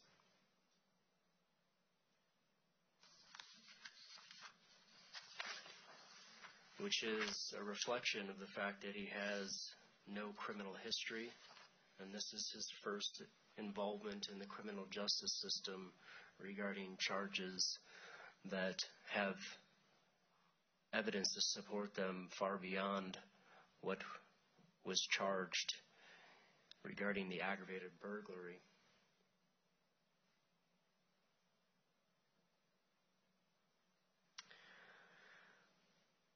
Having weighed all of those considerations, the court finds that it's appropriate to release Mr. Madrid on strict conditions. He'll be placed on an electronic monitor to reside with his parents at their residence. He will have a curfew of 8 o'clock at night to 8 o'clock in the morning. From 8 p.m. to 8 a.m., he will not be permitted to leave the residence. From 8 o'clock a.m. to 8 p.m., he may leave only for purposes of assisting his father in the work that needs to be done on the ranch. He is to be in his father's care and custody at all times. He is to be within eyesight of his father at all times. If he is not in his father's eyesight, I am ordering his father to report that at once to pretrial services to inform the court that his son is in, not in compliance with that requirement. He will not be permitted to possess any weapons, and specifically firearms. And I understand that work on a ranch may require that type of instrument, but he is not to be in possession of one at any time. Any firearms in the residence must be locked in a safe at all times so that he has no access to firearms. If his father needs to carry a firearm for purposes of daily work, that firearm is to stay in his father's possession at all times out of his reach. He is not to consume any alcohol or controlled substances, and he will be subject to random urinalysis to ensure that he is not consuming any alcohol or controlled substances. As the court has identified, the use of alcohol seems to be a great contributing factor to what occurred that night, along with his access to firearms, and therefore the court will require that pretrial services be imposed at a supervision level 2 with random urinalysis as determined by pretrial services.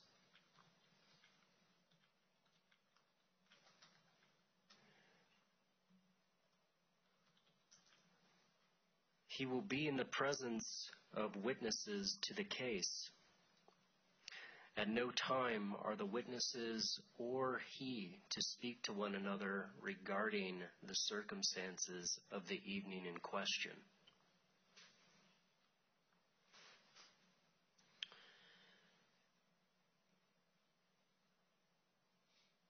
Beyond those specific conditions, general conditions of release will apply, such as Mr. Madrid shall not commit any new crimes while this matter is pending before this court. That includes federal crimes, state crimes, local ordinance violations.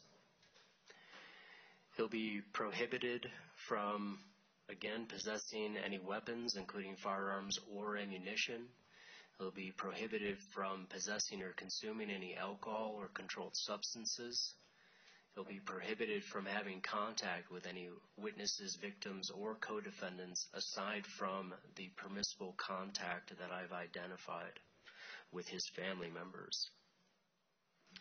He'll be prohibited from leaving the state. As the court has already indicated, he'll be on electronic monitoring house arrest, not permitted to leave the residence for any purpose between 8 p.m. and 8 a.m and aside from leaving the premises for purposes of working on the family ranch with his father, while at all times being in his father's presence, he will only be permitted to leave to attend to medical appointments and meeting with his lawyer in pre scheduled, pre noticed appointments he'll have to provide 48 hours advance notice to pretrial services regarding his need to leave for purposes of those appointments.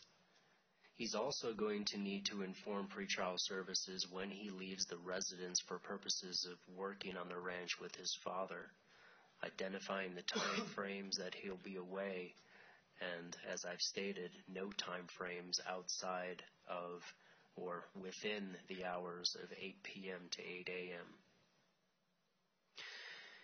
He'll be obligated to attend all hearings that are scheduled in his proceedings, and he'll be obligated to maintain weekly contact with his attorney. Mr. Madrid, this is a short lease for a purpose. I don't want to hear about any problems with you in compliance. I've tried to make it abundantly clear as to what they are? Do you, within the way of your conditions, do you have any questions regarding what your conditions are? No, I understand, Your Honor. You understand that a violation of any one of those conditions of release could result in a bench warrant issuing for your arrest and you being held in pretrial detention during the pendency of this case? Yes, Your Honor. You need to report to pretrial services within 24 hours of your release from the detention center. The pretrial services office is in this building in Santa Fe. Even for Rio Arriba cases, it's in this building right Do I here. report here? Yes, on the third floor of this building is pretrial services, and they will connect you with an electronic monitor.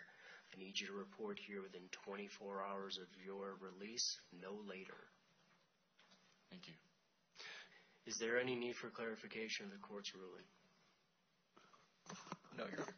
Your, Your Honor, I have one, and it's the line of sight, which I understand what you said. Uh, Eric Madrid, Derik's father, he does travel somewhat frequently, I know, to see bankers. He has to buy supplies. He's in Albuquerque. He's, he, he's off the ranch a fair amount. I, and if the line of sight would mean Derek would have to go with him to all these places, I was, um, I- understand there could be line of sight with regard to his mother as well. The court wants him to make sure he's there. If he's with his dad, he's going to have to travel. And, I know his dad goes to Albuquerque twice a week, but he's out buying things for the ranch frequently or selling, and I think that could be problematic because I don't. I would prefer not having Derik driving all over the state. It's not all over the state. It's Espanola, it's Cuba, it's I'm not Albuquerque. intending for him to leave the ranch or the residence with his father. When he leaves the residence to work on the ranch with his father, his father must maintain line of sight. I got that. If his father's not working on the ranch that day and he's going to Albuquerque to go to the bank, then Derik stays at the residence. I, okay, that's that clarifies that for me, Your Honor. Thank you. And, and I'm sure we'll talk about it, but I'm sure he gets it. I, I understand now. Thank you. And at that point in time, then his mother will be responsible to inform pretrial services if he leaves the residence. Yes, Honor. Let me make sure that his mother and father are willing to accept this responsibility. Sir, what is your name? Mr. Madrid, are you willing to accept the responsibility of ensuring that if your son is not in compliance with my conditions of release, that you would inform pretrial services? And ma'am, what is your name? Monica Estrada? Yes. Ms. Estrada, are you willing to report to pretrial services if your son is not in compliance with my conditions of release? Thank you both. You may be seated. Mr. Walquist, was there something? to ask if you wanted to come make sure they were on the record. I think we captured that sufficiently. Any other need for clarification? No, Your Honor. Not from the state. Let me find a date for you all to come to the courthouse and TA to complete the probable cause determination through a preliminary examination. Um, Mr. Um, Gorence, I need you to prepare the order denying the state's request for pretrial detention. Yes, Your Honor. I'll have that to you obviously tomorrow.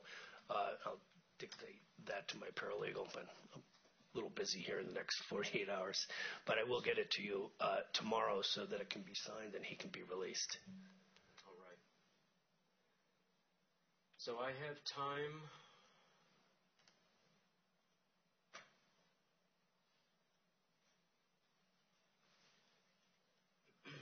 Let me see.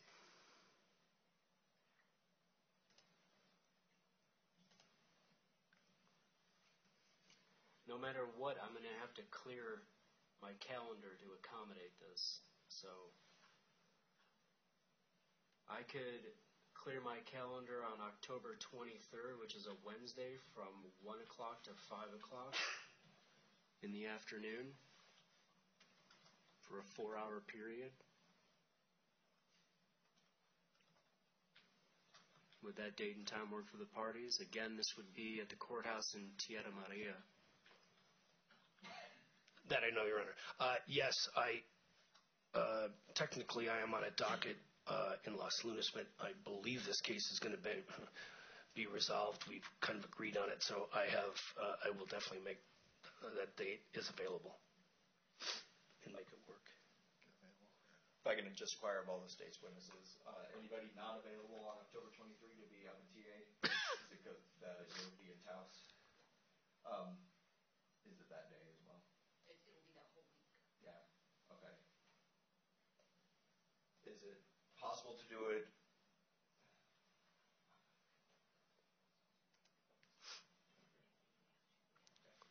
Um, we can make the 23rd work, Your Honor. Um, uh, the, the, the family uh, has an obligation in Taos that day.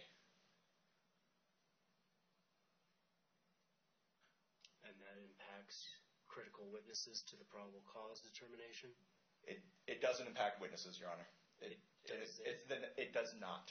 It is the, uh, it's the next, it's, The family members? Yeah. Oh, okay. oh, you are, I'm sorry. I might be confusing. Okay, I take your time.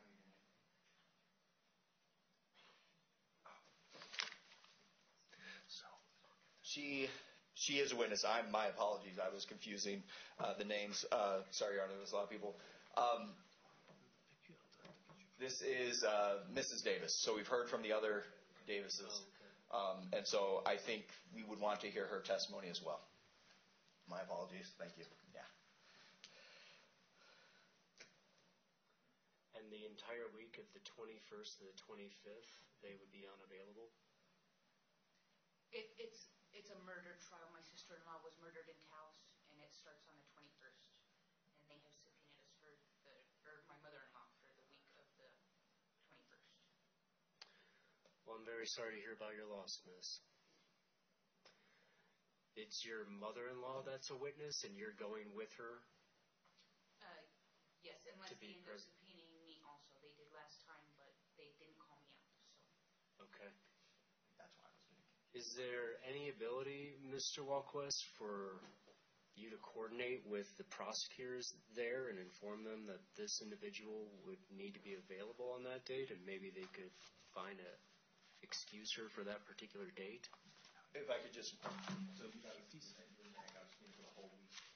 My mother-in-law at this point, they haven't sent out all the subpoenas yet. I think we can, Your Honor. Um, I think I can work with the uh, prosecutor in Taos to, if she is a witness in that case, to not have her testify the afternoon of the 23rd. All right. And if that becomes a problem, please let me know, and I'll figure out a way to accommodate. Were there any other problems with anybody? No, okay. So we will proceed to October 23rd, starting at 1 o'clock to 5 in the evening at the courthouse in Tierra Amarilla for purposes of completing the preliminary examination. Is there anything else that needs to be addressed here today? Not from the state. No, Your Honor. Mr. Gorence, you're also going to have to prepare an order of release and an order setting conditions of release on top of the order denying pretrial detention. Okay. Thank you all so much for coming to the courthouse. Have a safe trip wherever you all are going. Thank you all. Court's in recess. All rise.